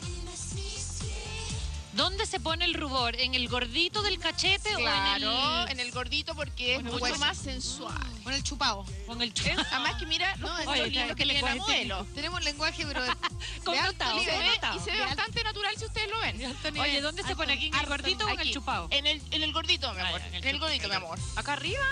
¿En los cachetes? Aquí. Oye, y uno que se lo pone aquí para Lo que, pasa, lo que pasa es que aquí ya y vendríamos a hacer otra clase de maquillaje para la Ah, próxima, ¿ya? Pero aquí para lo que es rubor crema, acá da luz. Y si quieres también pones en clavícula, en los hombros. Ya. Ya, muy lindo, así como estoy yo. Y aquí, si uno quiere verse, bueno, Aquí al medio, acá al Sí. medio. Y Siempre si con quieres pechugona. hacerse los abdominales. Sí, los abdominales también, ahí, ahí, y así. uh. Ya, Bueno, entonces, Vamos con el rímel y con el Vamos con delineador. el rímel. Cotonito. Pero, es el- pero este siempre hay que tenerlo. El cotonito esfuma, saca todas las manchitas, los polvitos sueltos, etcétera. ¿Ya? Ya, Vamos, a- vamos con el delineador. Voy a hacer uno intenso, que es un delineador en gel, pero también existen los lápices que se llaman waterproof. Waterproof. No larga duración, porque no es lo mismo. A ver, ¿cómo sería, igual. ¿cómo sería el delineado? Lizzy? Este entonces es como bastante bueno. Entonces, si es que no pasa la prueba de fuego en el agua, uh, ya, ya. Entonces, permiso, chiquillos. Dale nomás. Permiso. Vamos a aplicar Ok, ¿qué es lo que estás aplicando? delineador en gel. Ya va, que con ¿Qué este mejor? bracito nos estás tapando la cámara. Es que soy zurda. Este, se- Ya, ahí, este, ahí. este producto uno lo puede eh, adquirir en alguna farmacia, un establecimiento. Exacto. ¿Es En la mejor el cara. delineador en gel o en lápiz? En gel es, es lo mejor para. No, en gel y hay unos Es lo mejor líquidos para el agua. son- Eso te lo- no te lo saca, pero ni un abogado te saca el delineador. Nadie. Mira, lo estamos haciendo bien marcado. Claro, estamos exagerando. Lo estamos haciendo bien marcado. Uno para no se pone este delineador tan grueso para ir a la playa. No, obvio. no, no, pero estamos haciéndolo bien Exagerado. marcado, exagerado para que ver si. Podemos Hagámosle el agua. Hagámosle el otro ojo. Permiso. Ah, Qué que tiene que venir para este lado. Sí, porque en el fondo uno se quiere ver lo mejor posible, pero tan producida, ¿no? Como esas teleseries venezolanas que están muriéndose la señora y bien. Si no es negro, miren, yo les que recomiendo que podemos café. aplicar verde musgo, que es un color que me lindo. gusta bastante. Sí, a mí también. O si no, combinar el café, que color es tierra, con el verde musgo. O el gris. o el gris, pero no tanto para la playa. Ah, ya. Eh, Ya sabe, para la playa no. ¿Sabes lo No, y no se pasa? ponga pestañas postizas, a veces le van a salir el primer piquero, el guatazo se le van a... Ok, perfecto. Igual que el delineador café, o sea, el rímel café, la máscara de pestañas café. Ay, Se estamos más- haciendo maquillaje express suave la mirada. para cuando usted quiera ir a la piscina y quede digna, Mira, saliendo del ¿tenemos agua, como para ponerle rímel. como Sabrina cuando salía de la Boys, Boys, Boys, de la piscina, salía intacta. Ya, y ahora, para finalizar, El rímel antiagua. Waterproof, you know? Ahí, tal cual. Baja un poquito. Esto usted lo puede encontrar en cualquier farmacia, supermercado, tiene que rubro, ser rímel waterproof, por favor. ferreterías también. Ahora una ramo. consulta. Está bien que no salga con el agua, pero ¿con qué nos sacamos este maquillaje? No, con Bueno, nada. tiene que No, no ser sale, no Nunca sale. más. Maquillaje definitivo. Maquillaje permanente. buena pregunta, Linda. Una crema, sí, Debería claro. salir con aceite, ¿Sabes que ¿no? a mí me carga comprar lo- las máscaras que de pestañas tienes que comprar- waterproof por lo mismo? Te- tiene que ser haces así. Te lastimas el ojo ¿Cómo haces tú? maquillaje. Hay Así. unos muy buenos en gel para Sí, poder verdad. ¿Y qué sacar el maquillaje de las pestañas. Y con cuidado, sin maltratarse. ¿Cómo? ¿Crema, eh, Ahí. ¿Crema en gel? Claro. Llegó el momento. Préstame un poquitito. Préstame. falta el root. Sí, Préstame un vamos. poquitito el rímel. ¿Puede ayudarme, Panchito? un poco? vas a caer en voló, ¿viste cómo voló? De ahí me lo pasa, ¿ya? Vamos a hacer el Ya, otro. respira, respira. Esto te va a doler, no mentira. mentira, mentira. Mira para arriba. Ya. Pobre. Es, primer, es tu primera vez que estamos... Ah, y abajo también ella, linda. Para la playa. Claro. Así muñeca. A menos que no Claro, pues porque, ¿sabes qué? Este es el que se Siempre chorrea. digna. Chicas, Ya, digan ahora vamos a otro lado. hasta la sepultura. Mira, existen tú hazle el ojo, también. hazle la boca. Ya, existe también, permiso, chiquillos. Sí, dele nomás Lizzy porque va a empezar intruso en cualquier momento. Ya. De hecho, hoy día voy a Tenemos partir- en el mercado millones de lápiz labiales que son larga duración. A mí, yo no creo, yo sí creo en ellos. Sí. En eso te podría decir. A ver, veamos. Primero, se pone el color. Qué miedo. Ay, qué miedo. Tengo miedo. Oye, eh, Ya, ahora esperamos Sí, que claro. seque un pichintún. Ok. Eso, sople, sople. Sople, Richard. entonces, usted se, se le seca el el maquillaje hasta que alcanza a llegar a la playa o a es la bien bonita piscina. nuestra modelo. Es Claro. preciosa. Y además, la Bueno. idea es que uno salga a sí mismo después de que se Oye, pero en la- la mañana llegó con una... Ah, no, mentira. Ok. Besar. La prueba, favor, la prueba que vamos a Ya, hacer ahí es está. que ella con su maquillaje antiagua meta la cabeza. Muestre el primer Chan, plano del maquillaje. ¿Será verdad o no Ah, será verdad? Carvajal. Oye, veamos allí en primer teta, plano entonces los detalles del maquillaje antiagua y luego vamos a hacer la prueba. A ver Llegó si sale el impecable. momento. Llegó la hora. ¿Cuál A es la- el mejor matinal femenino? Ah, Estoy empezando a rezar, respira, ¿ah? a la cuenta de uno. Métele la dos, cabeza. ¡Te confiesa! como cuando comen a la cuenta de uno, dos y vamos, cuidado, con amor, con vamos, amor. vamos, vamos, vamos. Eh, No le a ver, pero no, otra vez, pero mete como que está, como que está nadando, como que Oye, está nadando. Haz burbujitas. Inmersión, ¿cachai la inmersión? Inmersión. Oye, parece que voy a no quedar va como una reina hoy día. Dale, dale, cinco minutos, con eso es ¿Quedaré o no como una reina yo hoy día? Es como como maquilladora? es como matrimonio. Eh, a ver, Toma, Lizzy, toma, Lizzy. Claro, que claro. Ya. Pobrecita mi modelo. ¿Se le chorreó o no se le chorreó? ¿Se le chorreó? A ver. No, cuidado, cuidado. A ver, la pregunta. Cuando sale ella del agua, lo que iba a hacer era barrer con el maquillaje. ¿Qué tiene que No, secarse? lo que ella tiene que Ahí, hacer es... tiene que respirar. No, no, muy Primera. digna. Siempre Qué muy digna, con toquecitos. O si no, toda la saca su pañuelo desechable y hace esto. Toquecito. ¿Viste? Toquecito. Y no se le corrió el maquillaje. Oye, pero Ah. uno siempre tiende como a secarse el ojo, como a hacerse esto Sí. así, ¿cierto? No, a- no, eso digna. Siempre. Digna. Nada, nada, nada. Digna. Oye, yo estoy... ¿Y tu Ya. número de cédula? Ya, a ver, ¿qué dicen ustedes? Está perfecto, maravilloso. Prueba superada entonces, ¡Bravo! Estaba un poco mojado el estudio. Oye, Lizzy, te pasaste. ¿Ves? ¿Puedes ver? ¿Ves que se puede? ¿Cuántos números hay aquí? ¿cuántos dedos? ¿Cuántos Linda ella. Eh, eh, yo creo que el aplauso va para ella. No, no se le corrió nada. No se le corrió nada, todo está en su lugar. Que la prueba está- Acuérdense, rubor en crema. Rubor Eso. en crema es lo más importante y el delineador waterproof. El. Estupendo. Gracias, Licio Sandón. Muchas gracias, Alicia Sandón. Eh, damos, eh, te damos las gracias. Pero, eh, ¿se fue? Se fue, Bueno, pues, gracias, Lizzy. Lizzy. ¿Qué te- Ay, me pegué. Gracias, Lizzy. Se va Lizzy y entra nuestro Michael Roldán con su propia Entre. silla. Oye, yo me aseguré la Oye, silla. vamos otra vez de vuelta aquí atrás. Michaelcito, ¿Cómo feliz estamos? año. Feliz año, mi Yanni. Yo me vine con mi silla Mua. para asegurarme este año con silla. Dame ¿Viste un beso a un nuestra abrazo. invitada? Estupenda. Oye, Sí, esa mesa me ahí está, cuenta. mara- ¿Cómo estás? está maravillosa. ¿La saco yo? Ana Sol Romero con tres hijos en el cuerpo, pero Oye, ¿en dónde? No sabemos. ya no los tiene en el cuerpo. No, pues, Yanin ya los Los tuvo. tuvo en algún momento. Está dejando la tuvo. embarrada, Antonella. No, ¿Cómo yo quiero, yo quiero ordenar la mesa a las que Bien, las corazón, entretenido, en casa, con la familia, Disfrutando en familia, lo importante. disfrutando. ¿Y cómo la pasó la farándula local? Y la este farándula nuevo? Lo pasaron bastante bien. Si los famosos siempre se entretienen, salen por ahí, harto evento discotequero, harta Ah, fiesta. Pero hay una famosa que no lo pudo pasar tan bien, que no Mm. pudo disfrutar tanto las 12 uvas, las 12 velitas y todos los rituales que acá nos enseñó Barbarita, porque se acuerdan que hace una semana, hace una semana acá en Mujeres Primero estábamos conversando sobre el drama que estaba viviendo Anita Alvarado, que se iba a viajar a Cuba con toda su familia, quería tener Sí. un carrete a todo dar en Cuba con todos los hijos, pero que tenía problemas con un padre Con el permiso. con el permiso, que no quería autorizar a sus hijos. Bueno, finalmente Anita Alvarado en la madrugada, a eso de las 3 de la mañana, partió rumbo a Cuba, tomó a sus hijos, tomó sus maletas, pero dos niñitas se quedaron No. acá en Santiago porque No. el padre no las autorizó, no les dio el permiso, muchachas. Una Qué situación que. Sí. afecta anímicamente a Anita, no solamente a Anita, sino que a toda la familia. Y a viajó Angie. igual. Viajaron, viajaron Oh. todos, tenían los pasajes comprados hace mucho tiempo. Ah. De hecho, esto no fue un asunto de, de que Anita de un día a otro pidiese el permiso al padre, al señor de apellido Ojeda sino que más bien ella venía hace aproximadamente un mes tramitando permisos, pidiendo autorizaciones, fue a tribunales, ¿se acuerdan que nosotros conversábamos de que había una opción de pedir permiso notarial? Bueno, esa opción al parecer no es tan válida porque el caballero estaba en Chile desde el 20 de diciembre. En el 20 de diciembre llegó acá en Chile, él es extranjero, y no las autorizó simplemente, me pueden creer eso, y las dos niñitas, dos hijas de Anita Alvarado se quedaron qué acá en? Santiago sin viaje. ¿Cuál, cuál- ¿Qué edades tienen las hijas? De pregunta. Las que se quedaron. Las que, Son chicas. tienen, eh, entre 10 y, y Oh, 11, me parece. Son, son pequeñitas y Angie es la, de Además, las qué más raro grandes. que sus hermanos viajen. Eso, eso es lo más viajes, triste, ellos no.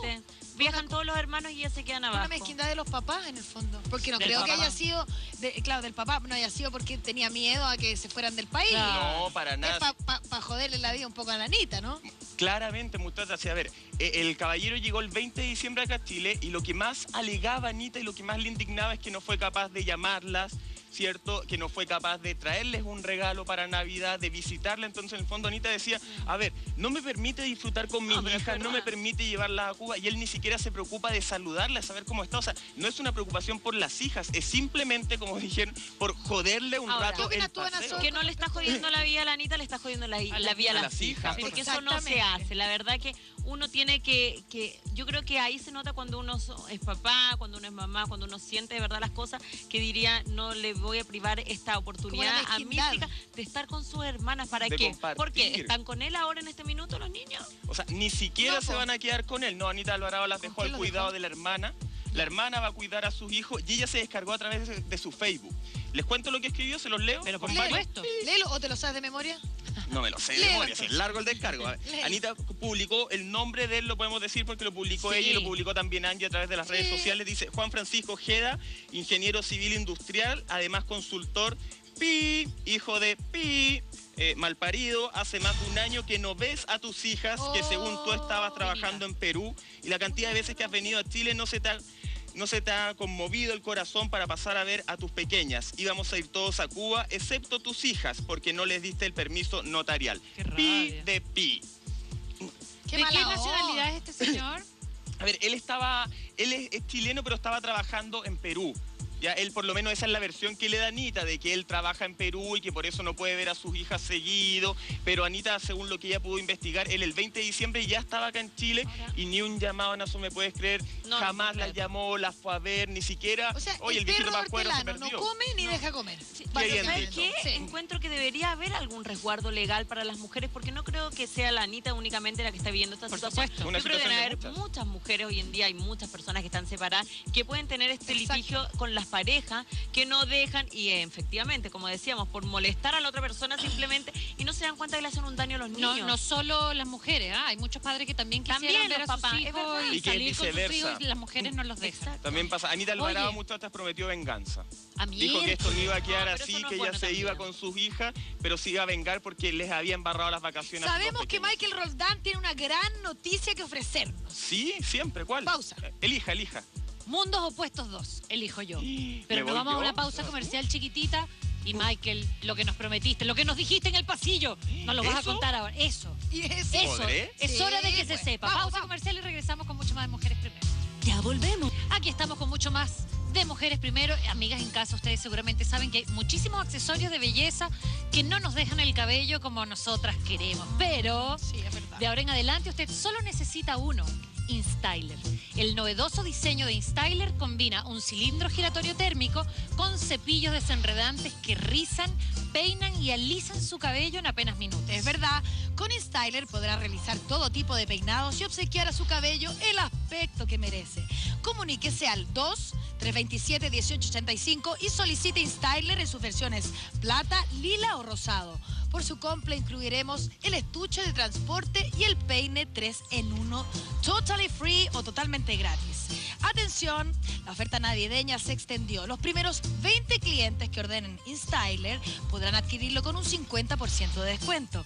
Me parece que hay una noticia formidable. Usted compre un InStyler a tan solo, atención, 29.990 y pague con su tarjeta de crédito bancaria en seis cuotas de 4.998 pesos. Repito, 4.998 pesos, precio contado sin interés. Antena 3 Directo, gente que responde. ¡Bravísimo! Gracias, Antena está. 3. Oye, Oye. No tengo el InStyler y es Formidable.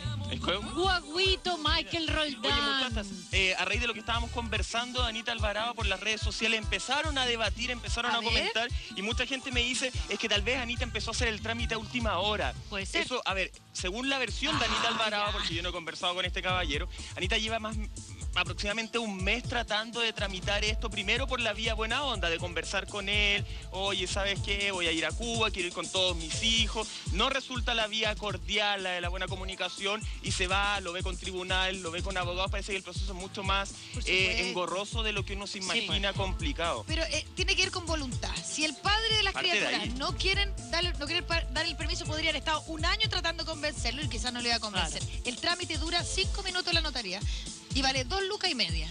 y nada más. Pero Y Antonio, a ver, siendo acá un poquito abogado del diablo, ya pensemos ya, expusimos los hechos, pensemos que a lo mejor este caballero le daba miedo que sus hijas tomaran el avión. Puede se ser iban? una opción. Pero si un año que no la ves, ¿qué miedo le va a dar? O sea, Pues poco más de siendo interés abogado del real, diablo, un poco más ¿puede de ser? consecuencias. No, tiene además Ay, se puso una pestaña. usted. ¿Cuánto tiempo se iban?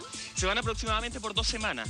Ya no, no es un viaje rabia. tampoco, pero a ti te, te hace eh, coherencia esto de que a lo mejor le da miedo que tomen el avión. Me hace coherencia si él estuviera permanentemente con los niños. Exacto. Ahora, durante un año a los niños le pueden pasar muchísimas cosas y no en un avión, no sé, en la calle. Y si ellos no están Claro. eh, preocupados de eso durante un año, ¿por qué la maldad de no dejarlos ir Y ahora a qué feo hora? es descargarse con la expareja a través de los hijos. Y te voy a decir algo. Usarlos Fuesen para... los usa, únicos dos hijos, fuesen los únicos dos que viajaban con la Anita, uno dice, bueno, ya, posterguemos el viaje, lo hagamos más adelante, pero iban con todos los Hermanitos. que organizarlo a todos, la maldad es mayor aún. Porque tenía que conseguir todos La los maldad. permisos. Todos los permisos. ¿Se habrá Todos. puesto celoso a lo mejor de esta nueva relación que Anita Alvarado Ah, está sí. entablando con el canadiense? ¿Sabes qué? ¿Podrá Me ser? No cayeron sé, quiero ser pésimos. bueno. Cambiemos de tema, nos vamos a Mundo Opuestos 2 porque leímos la noticia, Nakazone viene con todo, va a haber una nueva chica farandulera que es desconocida, que es la más bella del mundo. Eso y Me mucho parece más. que es el nombre de esa niña la más bella del mundo, pero antes Del mundo. el equipo de mujeres primero preparó no una buena nota, un completísimo informe, la mejor nota que usted va a ver este primero de enero, a continuación y después Lo comentamos. bueno que hoy día es 2. Eso es Ah, bueno. bueno, pero es que el primer día que trabajo. Según confirmó el cerebrito de los realities de Canal 13, Sergio Nakazone, en su cuenta Twitter ya estarían todos los participantes listos y dispuestos para Mundos Opuestos 2, el nuevo espacio de telerrealidad que comenzaría el 15 de enero próximo. Los detalles del encierro se guardan bajo siete llaves al interior del ex canal del Angelito. Pero como en Mujeres Primero somos busquillas, averiguamos por aquí y por allá y conseguimos varios datitos sabrosos. Vamos viendo, una de las que tendría un rol fundamental en el encierro es Dominique Gallego, aunque esta vez no como participante, sino que como anfitriona del paraíso, el lugar donde los competidores estarán regalones. Mientras que Chispa sí sería el encargado de hacer vivir las penas del infierno a los perdedores. ¿Serán dignos de ocupar dicho rol?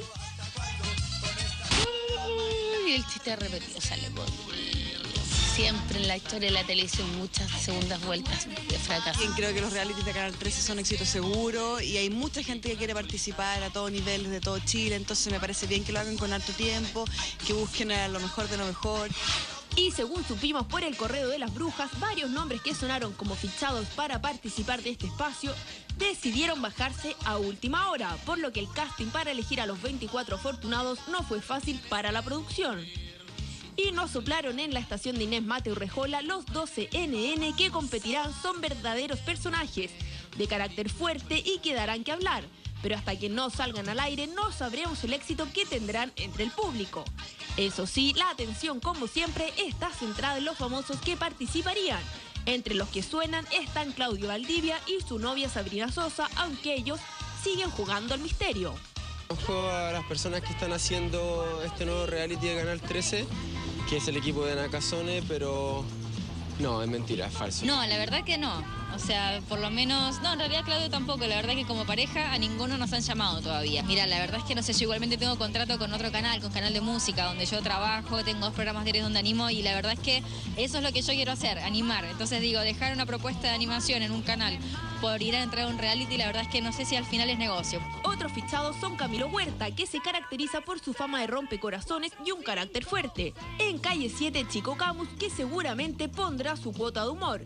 Y el ingrediente que nunca falta, las chicas sexys. Entre las que suenan con fuerza, la ex Miss Chile Natalie Chilet. Karen Paola, la última reina de la Teletón Fallon Larraguibel, la chica Morandé Claudia Schmidt y Noelia Arias, la mismísima licenciada que prendió tantas noches en nuestro canal. ¿Quiénes serán los que más prometen? Yo creo que vamos a poder conocer a la persona detrás de, de la figura que uno ha visto siempre. Y esas son las instancias que dan los reality. Mundo Opuesto está ofreciendo buenas lucas, el tema del baile nuevo de Televisión también está ofreciendo buenas lucas, entonces, mira, finalmente el farandulero siempre va, va a tener buenos dividendos, sobre todo los que salieron de un reality. No hay duda de que hay varios personajes atractivos, pero el que dejó a todos con la boca abierta fue el nombre de Mauricio Israel, que luego de escapar de nuestro país por escandalosas deudas, volvería para encerrarse en la casona estudio por 20 millones de pesos. ¿Será tan así? Se ha hablado de Mauricio Israel, pero no hay certeza de eso. Todos los nombres que han salido a la luz pública eh, son especulaciones, son rumores, porque tal vez, no se los llamaron, fueron a casting, pero el Canal 3 todavía no da como la versión oficial de quiénes son los que han. Y creo que Mauricio Israel es una carta, la carta más eh, fuerte que podría tener este reality. Recordemos de todo lo que ha pasado él, recordemos que fue despedido también de- del canal que estaba trabajando allá en el extranjero eh, y tiene muchas cosas que contar acá en Chile. Estaría pidiendo una suma importante de dinero. Yo sé que hay gente que está tratando de negociar esa, esa cantidad de plata o más. Creo que 20 millones es re poco eh, para, para lo que, por ejemplo, le pagaron en su minuto a Pamela Díaz. Creo que podrían ser 25, 30 millones de pesos lo que podrían recibir mensualmente Mauricio A tal punto llega la seguridad del espacio que los participantes firmaron un contrato de confidencialidad con Canal 13. Y para que la familia Miranda no filtre los resultados de la competencia antes de tiempo, pusieron doble muro para rodear la casona. Pero algo está claro, hagan lo que hagan, nosotras estaremos ahí infiltradas para contarle esos detalles sabrosos que usted quiere saber. Ajá. Bueno, lo del señor Mauricio Israel todavía está en veremos, ¿cierto? Todavía está en veremos porque hay muchos nombres que están en veremos. Hay, por ejemplo, eh, Germán Valenzuela. ¿Se acuerdan de Germán Valenzuela? Él ¿Cómo no- también. ¿Cómo no acordarnos? Ah, el mítico notero matinal, Germán Valenzuela también está negociando. Noelia Arias, la licenciada Tetarelli también podría ser un posible inglés. ¿Quién es la más bella del mundo? Escuché una ¿La más bella del mundo quién es? La más bella del mundo es una chica que no es conocida, ella se llama Simón, pero es amiga como de faranduleros, por ejemplo, de amiga de Tanza Varela. A ver, una Entonces, no, no la vamos a mostrar, pero otra persona, muchachas, porque no solamente están buscando competidores, sino que también los anfitriones. Anfitriones del paraíso y anfitriones del infierno. Y Claro, van- en la especie como de Lucila esa- Claro, ya. una Lucila Vi, todos los que hacen esta actividad Ya. y en el infierno, para el infierno están buscando a una persona que sea de humor negro, que sea sarcástico, que pueda molestar a la gente, que represente un poquito ¿Felipe al Abello? diablo La en la tierra. Felipe. Abello no, porque Felipe Abello es de acá de la red. Ah. ¿Saben quién es el personaje que Nakazone quiere sí o sí como anfitrión del infierno ¿Quién? para que haga pasar ¿Quién? las peores penas a los competidores que pierdan? Es que no Sale lo del. GC que no estamos viendo porque no veo nada. El señor Chispa. Juan Chispa Lacasi está negociando para ser el anfitrión del infierno. Un papel que sería un poquito más importante de lo que hemos- estamos acostumbrados los anfitriones. Nosotros vemos que van, hacen algunas actividades. Exacto. En Mundo Opuesto en el pasado iba Sebastián Keite, lo hacía trabajar, correr, los entrenaba. Ahora el anfitrión del infierno tendría una especie de habitación dentro de este... Ah, o sea, estaría este- encerrado. No estaría encerrado siempre, pero tendría una permanencia mucho más potente. Porque la idea es que de alguna forma sea una especie, a ver, de- ¿se acuerdan de Gran Hermano, este reality? Sí, pues. Muy Sí. exitoso, donde hay un ojo, Sí, ¿cierto? sí, la voz que habla con todos los participantes del Gran Hermano. Entonces la idea es que cuando pierden, todos los competidores diariamente tendrían que ir a acercarse a este diablo, que sería Es Juan como Chispa pasar por Lacasi. confesionario, una cosa Claro, pero tendrían que eh, aguantar pesadeces, ¡Oh! bromas, insultos, que los traten pésimo y qué mejor personaje podría ser que el señor Para que, que estaría ahí. carne. Claro, Oye, pero- en el fondo para castigarlo, yo creo que con eso si ahí me dicen que Chispa va a ser mi diablo, yo Me me preguntan, la me preguntan por WhatsApp, ah, porque por Twitter no, me preguntan por WhatsApp, eh, WhatsApp. si la gente realmente quisiera ver a Chispa en ese, en esa faceta tan ruda como es él, digamos, tan un poco agresivo, un poquitito fuerte, eh, fuerte de carácter, fuerte de carácter. A ver, yo parto de la base que yo personalmente no me gustaría ver a Chispa en ningún lado. Pero como yo no soy lo importante, creo que la gente, a ver, esa personalidad del tipo que te puede decir las cosas a la cara, que va a usar humor negro, que va a molestar, que, ah, Antonella, te va a estar hinchando todo el rato, claramente un personaje atractivo para lo que es el mundo del reality. Ahora- Y Chispa es como el que más calza. Ahí me dicen diablo y yo me imagino él que más. ¿Cuánto, ¿Cuánto de eso, de ese personaje es, digamos, de su cosecha y no libreteado? seguramente lo van a poner a decir y a hacer y a comentar cosas bien desagradables, lo que en el fondo para él va a ser Sí. negativo. Sí, a ver, eh, Juan Laca sí, recuerden que cuando él entra a Mundo Opuesto se empiezan a desclasificar hartos videos de, por ejemplo, él andando en skate dentro de una iglesia, él molestando a sus compañeros skater. Él es un tipo podríamos decir desagradable por naturaleza. Claramente lo que pasó en Mundo Opuestos 1 es que sí le, le avivan la cueca, le incentivan ese personaje y hay también mucho de pauteo, de estas cosas que Nakazone dice, no, yo no pauteo, pero sí él aconsejaba, Sí, así como, claro. chispa, ¿sabes que podrías bueno. pelear con este? Pero yo te lo aconsejo. ¿Qué opina Ana Sol? Sí, yo creo que Chispa debería pensarlo muy bien, eh, porque en definitiva la última aparición que tuvo Chispa fue en esta entrega de los premios eh, En los Golti. donde efectivamente él se sintió afectado. Eh, lo vimos que estaba agresivo, que, que se sentía como agredido eh, por la situación, por las preguntas, por el uh del público, porque lo recibimiento fue abucharon. El abucheo. Fue, fue heavy para él. Entonces, en definitiva, si termina un año con un balance tremendamente negativo en términos de imagen, ¿cómo exponerse nuevamente en el año 2013 a seguir interpretando un rol que no le ha sacado dividendos positivos? Pero Al no será contrario. que ese es el nicho que tiene Juan Lacasí, el único nicho que puede explotar. Pero ¿para qué más le sirve? Si no ha podido hacer eventos, no ha podido Pero sacar Es que le, frutos le de sirve eso. eh, en, en la inmediatez. A ver, él estaba con proyectos para, hacer, claro, Exacto. estaba con proyectos para hacer programas deportivos, de deporte extremo, en el cable, estos que hay súper poquito. Él quería descubrir la pólvora y hacer un programa. Y eso no fue sustentable porque los auspiciadores no les convenía involucrarse Pero con la marca. Prefiero Juan un En ese sentido. Claramente, no, no les servía, no era, no era una marca que ellos quisieran potenciar a través de sus productos. Por lo tanto, él no tiene un nicho. Reinventarse ahora, para él, me imagino que va a ser tremendamente difícil. Entonces, en la cabeza de la casa, ¿y qué tiene que estar pasando? A ver, necesito plata, bueno, voy a seguir siendo el odiado, en tres meses más veré cómo lo hago.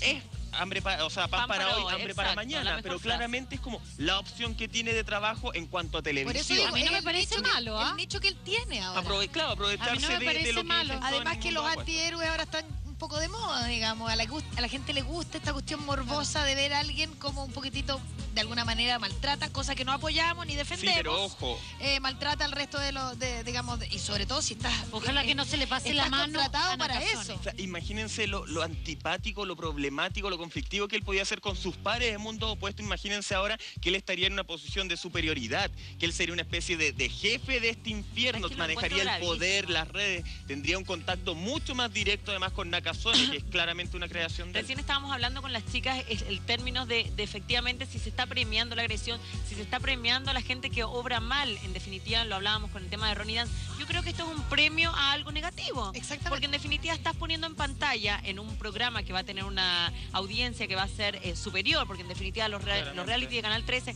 marcan muy buena Sí. sintonía a una persona que eh, se caracteriza por ser agresivo. Exactamente. Entonces, ¿hasta dónde Tú vamos a ir con justamente esto? hablando que como noticia de farándula del año, porque recién pasó, hace un, dos días, Sí. eh, hablar del el, Porque hoy efecto, Pa- el efecto Pamela Díaz y el caso bullying también, que tiene un mucho que ver con lo que estamos hablando. Ahora, ¿qué opinión te merece, digamos, que se den espacio eh, de repente para que haya estas situaciones de tensión, de agresividad, de, de, de- de agresiones eh, directamente a los otros participantes del reality? Bueno, nosotros aprendimos en, en, en portada que el tema de cuando pasan estas agresiones en lugares de trabajo se llama moving en vez de bullying. El bullying es solamente para el colegio. Ahora, Ah, perfecto. si nosotros seguimos exponiendo eh, este tipo de realidades, eh, que son, o sea, yo los reality los veo así como conejitos de India encerrados en una jaula y que se matan por llegar a obtener lo que quieren.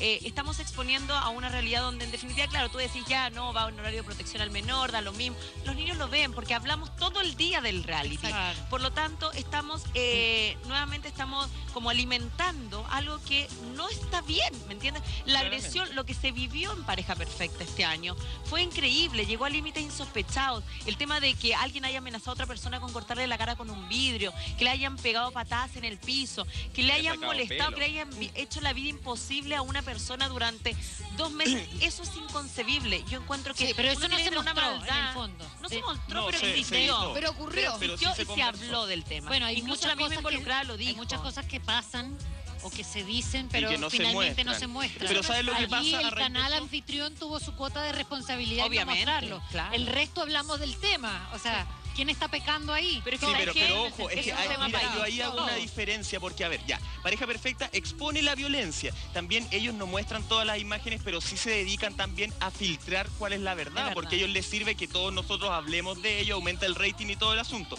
Tú dices, ¿quién tiene la culpa? Nosotros que hablamos, ellos que incentivan esto, que pagan por esto. Acá la labor, y lo conversamos me parece la otra vez, de los, de los comunicadores sociales, de los medios sociales como nosotros, está en enseñarle a la gente a raíz de estos episodios. Yo creo que uno puede sacar una gran enseñanza a raíz, por ejemplo, de- del, del bullying, del moving, como se llama en el caso laboral, que claro, en pareja perfecta estaban trabajando, de enseñarle a la gente, de enseñarle a los hijos, de ahí sacar un aprendizaje y desde ahí enfocar la noticia. Exactamente. A nosotros nos llegó una Sí, pues, información. como la farándula como un medio para poder analizar la sociedad. Y sobre todo en la farándula, que la farándula es uno de los medios, creo ahora, uno de los géneros periodísticos más democráticos, más democratizantes en la televisión, donde la gente puede entender lo que, eh, de, en términos simples de la política, del bullying, de las agresiones, de la violencia. Tenemos esa... Pero no estamos pre- A nosotros nos pretendiendo llegó- educar a nadie tampoco, ¿cierto? No, pero ya, sirve la educación le pero- corresponde escucha, a la Ponerlo en el tapete, A hacer un análisis, A nosotros nos llegó una información al programa donde una directora de un colegio nos comentaba que a raíz del reality Pareja Perfecta, por ejemplo, ella tenía alumnas y había, le había llamado la atención a una de las alumnas del colegio porque era súper irrespetuosa y muy altanera para contestarle. Entonces la alumna le dice, eh, pero ¿cómo yo? No, yo soy directa y soy frontal. No, eso no es ser directa. Pero ¿cómo la Pamela Díaz ¿Me entiendes? Esas son las cosas que uno, en definitiva, claro, tiene que decir, mira, se expuso esto, pero esto no está bien, esto no hay que hacer. Hay campañas enteras del gobierno en contra del bullying. Por lo tanto, tenemos que ayudar para que ¿Y eso hasta dónde llegan los límites? O sea, uno puede ser directo y frontal, pero uno también tiene que ser respetuoso. Exacto. Ah, y hay no puede ser irreverente. Porque a, a nadie le gusta que alguien llegue de, de- de la nada y te diga cuatro cosas que en realidad tú no preguntaste Y que no te interesa escuchar y no te interesa amargarte el resto del O día. que te lean el tarot y que tú no estés presente. No, pero cuando hemos leído el tarot, estamos hablando de, lo vi- de Viñuela que dicen que le va a ir mal Oye, este sí año lo todo. escuché. Pero nosotros hemos leído el tarot con la persona presente. Presente. Ahí no estaba presente. La A las ausentes también, pero bueno, Bueno, no importa. pero- Eso fue el año pasado. poca. Oye, estrés. Borren Estamos renovados. borren esa cinta, Claro. Bórrenla. Oye, estrés. Oye, muchachos, dejemos el infierno, dejemos la mala onda que podría generar el señor Lacasi dentro de este encierro como jefe de, de patrulla, por decirlo de alguna maldad. forma. Si hay un infierno, también hay un cielo. Ah. y en el Paraíso. cielo, el paraíso es todo lindo, todo cielo yo. blanquito. ¿Quiere tocar el cielo? ¿O quieres ver las estrellas? Quiero ver la Vamos a estrella y tocar el cielo con guaguita. A las 12.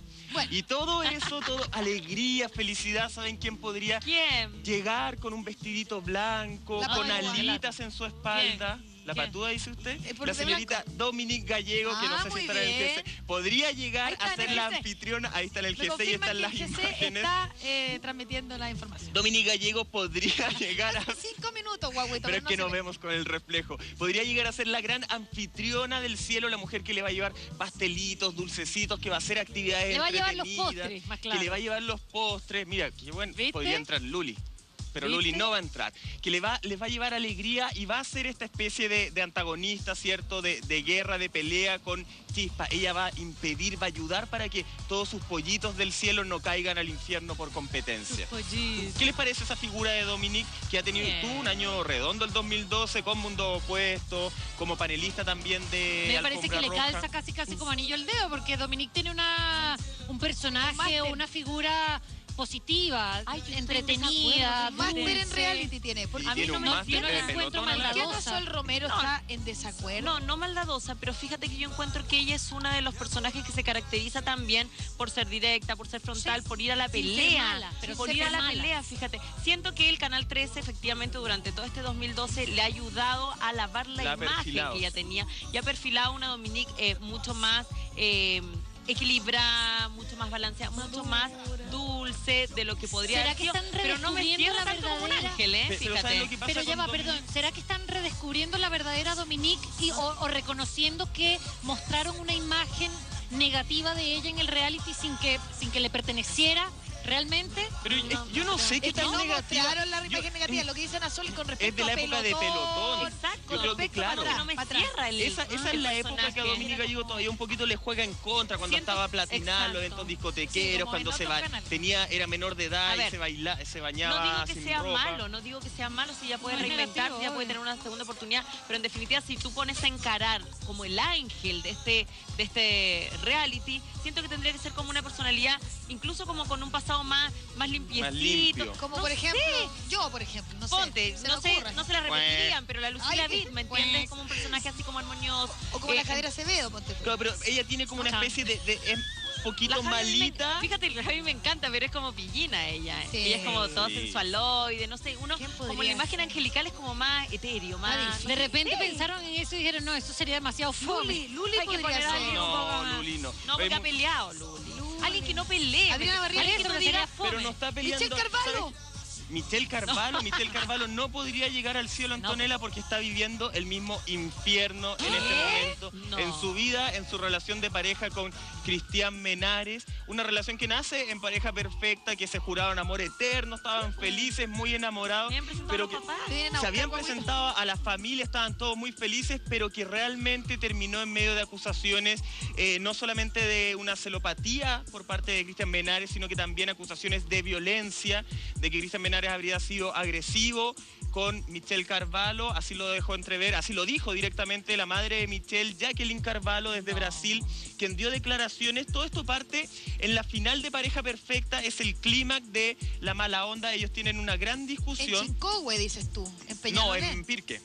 Ah, ya. En Pirque fue la final. Todo esto parte porque a, Cristian Menares siempre le, le molestó, le hizo mucho ruido esto de que le trajeran mucho el recuerdo de Michelle Carvalho, de Alexis Sánchez a Michelle Carvalho, de que le hablaran, de que le dijeran, "Oh, buena Michelle, y en la final de Pareja Perfecta empezó mucho de Michelle, el niño maravilla, buena Michelle. ¿Se acuerdan que Michelle incluso estuvo aquí ya Ninja y dijo, yo no quiero hablar de Alexis Sánchez? Ni de nada. Pare- ni de nada, pero Alexis Sánchez específicamente parece que no era tanto que ella no quisiera hablar, sino que Cristian Menares le habría pedido que dejen el pasado esa relación. Todo esto generó Obvio. una escena de celos donde en pareja perfecta se fueron muy peleados. De hecho, Alfombra Roja mostró imágenes de una pelea y en la cual al interior del auto Cristian Menares, según las declaraciones de la mamá de Michelle, habría tomado del cuello a Michelle para que no No. se bajara, exigiéndole que se quedara así. Eso lo Luego contó la de mamá. eso, Luego de eso, al otro día a Michelle, eh, Cristian Menares la expulsó del departamento, cambiando la chapa de la puerta, dejando una constancia en, el- en la recepción de que Michelle no puede acercarse al hotel y to- al departamento, perdón, y todas sus cosas las metió en bolsa de basura y se las dejó tiradas en el primer Qué piso. educado. haciendo retrofarándula, nos, aquí nos informan por interno que en el fondo ah, hubo también hace mucho tiempo, después del eh, año cero, eh, una acusación de Roxana Muñoz con, eh, contra Cristian Menares, Menares, eh, de sobre una supuesto- supuesta acoso, una supuesta eh, Claro, agresión. Esto sea en un, en un hotel donde estaban, donde Roxana acusa que Cristian Menares habría ingresado por la ventana de su habitación y se le habría abalanzado encima tratando de, obligándola más bien dicho, a darle un beso. Acusaciones que es verdad que se refrescan ahora, pero que recordemos que eso llegó a la justicia y al final nunca se, Ahora, Michelle nunca no se ha llegó a ningún tipo de proclamado, acuerdo. porque hasta donde yo tengo entendido, las últimas declaraciones de Cristian era que efectivamente él planteó, incluso en el Twitter dijo, que eh, cómo le creía la gente a estos periodistas que inventaban toda esta realidad que, es que nunca había Michelle- existido. Ver, Michelle regresa el día sábado acá a Chile. Ella no se encuentra en Chile. Yo me he comunicado todos los días con Michelle. Y de hecho en Intruso fue que lanzamos la noticia en exclusiva. Y ella, a ver, ella estaba bien arrepentida en algún momento de haber hecho esto público. Y ella incluso le manda un mail a Cristian Menares para decirle, Cristian, lo siento, yo quiero regresar contigo.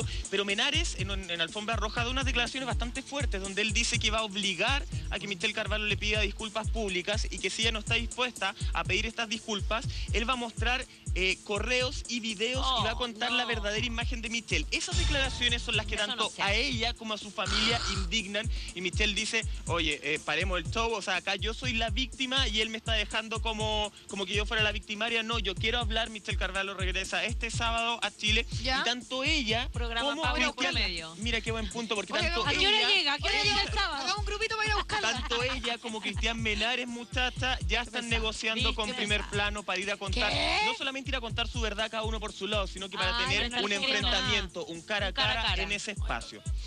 Una situación que realmente es como, seguimos con lo que conversamos, premiando las agresiones, cre- premiando la cosita. violencia. De hecho, dentro de los antecedentes que a mí Michelle me contaba es que no solamente era lo del cuello, sino que en el momento de la pelea en el departamento, ella estaba cargando su celular porque le quedaba muy poquita batería y que dentro de toda la pelea ella le dice, voy a acusarte, voy a llamar a la prensa y lo voy a hacer público si me sigues gritando. Imagínate, voy a él- llamar a la prensa, no es que voy a llamar a la a Voy a llamar a, mi mamá. voy a llamar a la por Claro, pero ella el lo dice como en el tono de, de tratar de, de que él se, se asuste y lo que me comenta en versión de Michelle Carvalho es que él ag- agarra el celular de Michelle, agarra los cargadores y los rompe, los habría roto para que ella no pudiese comunicarse ni con la familia ni con Y esta nadie. foto que sube Michelle donde tenía un rasguño que supuestamente era de un gato, efectivamente era de un gato. Sí, no, esa, esa foto yo le pregunté a Michelle y me dice, no, esa estaba en Brasil. Ahora, se- la dejó lastimó. tiene un la perro dejó que claro, la gato. subió sin ningún sin ninguna cuerda, ella tiene un gatito allá y de hecho el perro, Michelle tiene una mala suerte con los perros. El perro no se lo pudo llevar a Brasil, lo tiene acá en Chile. Deberían quitarle el derecho de tener animales a Michelle.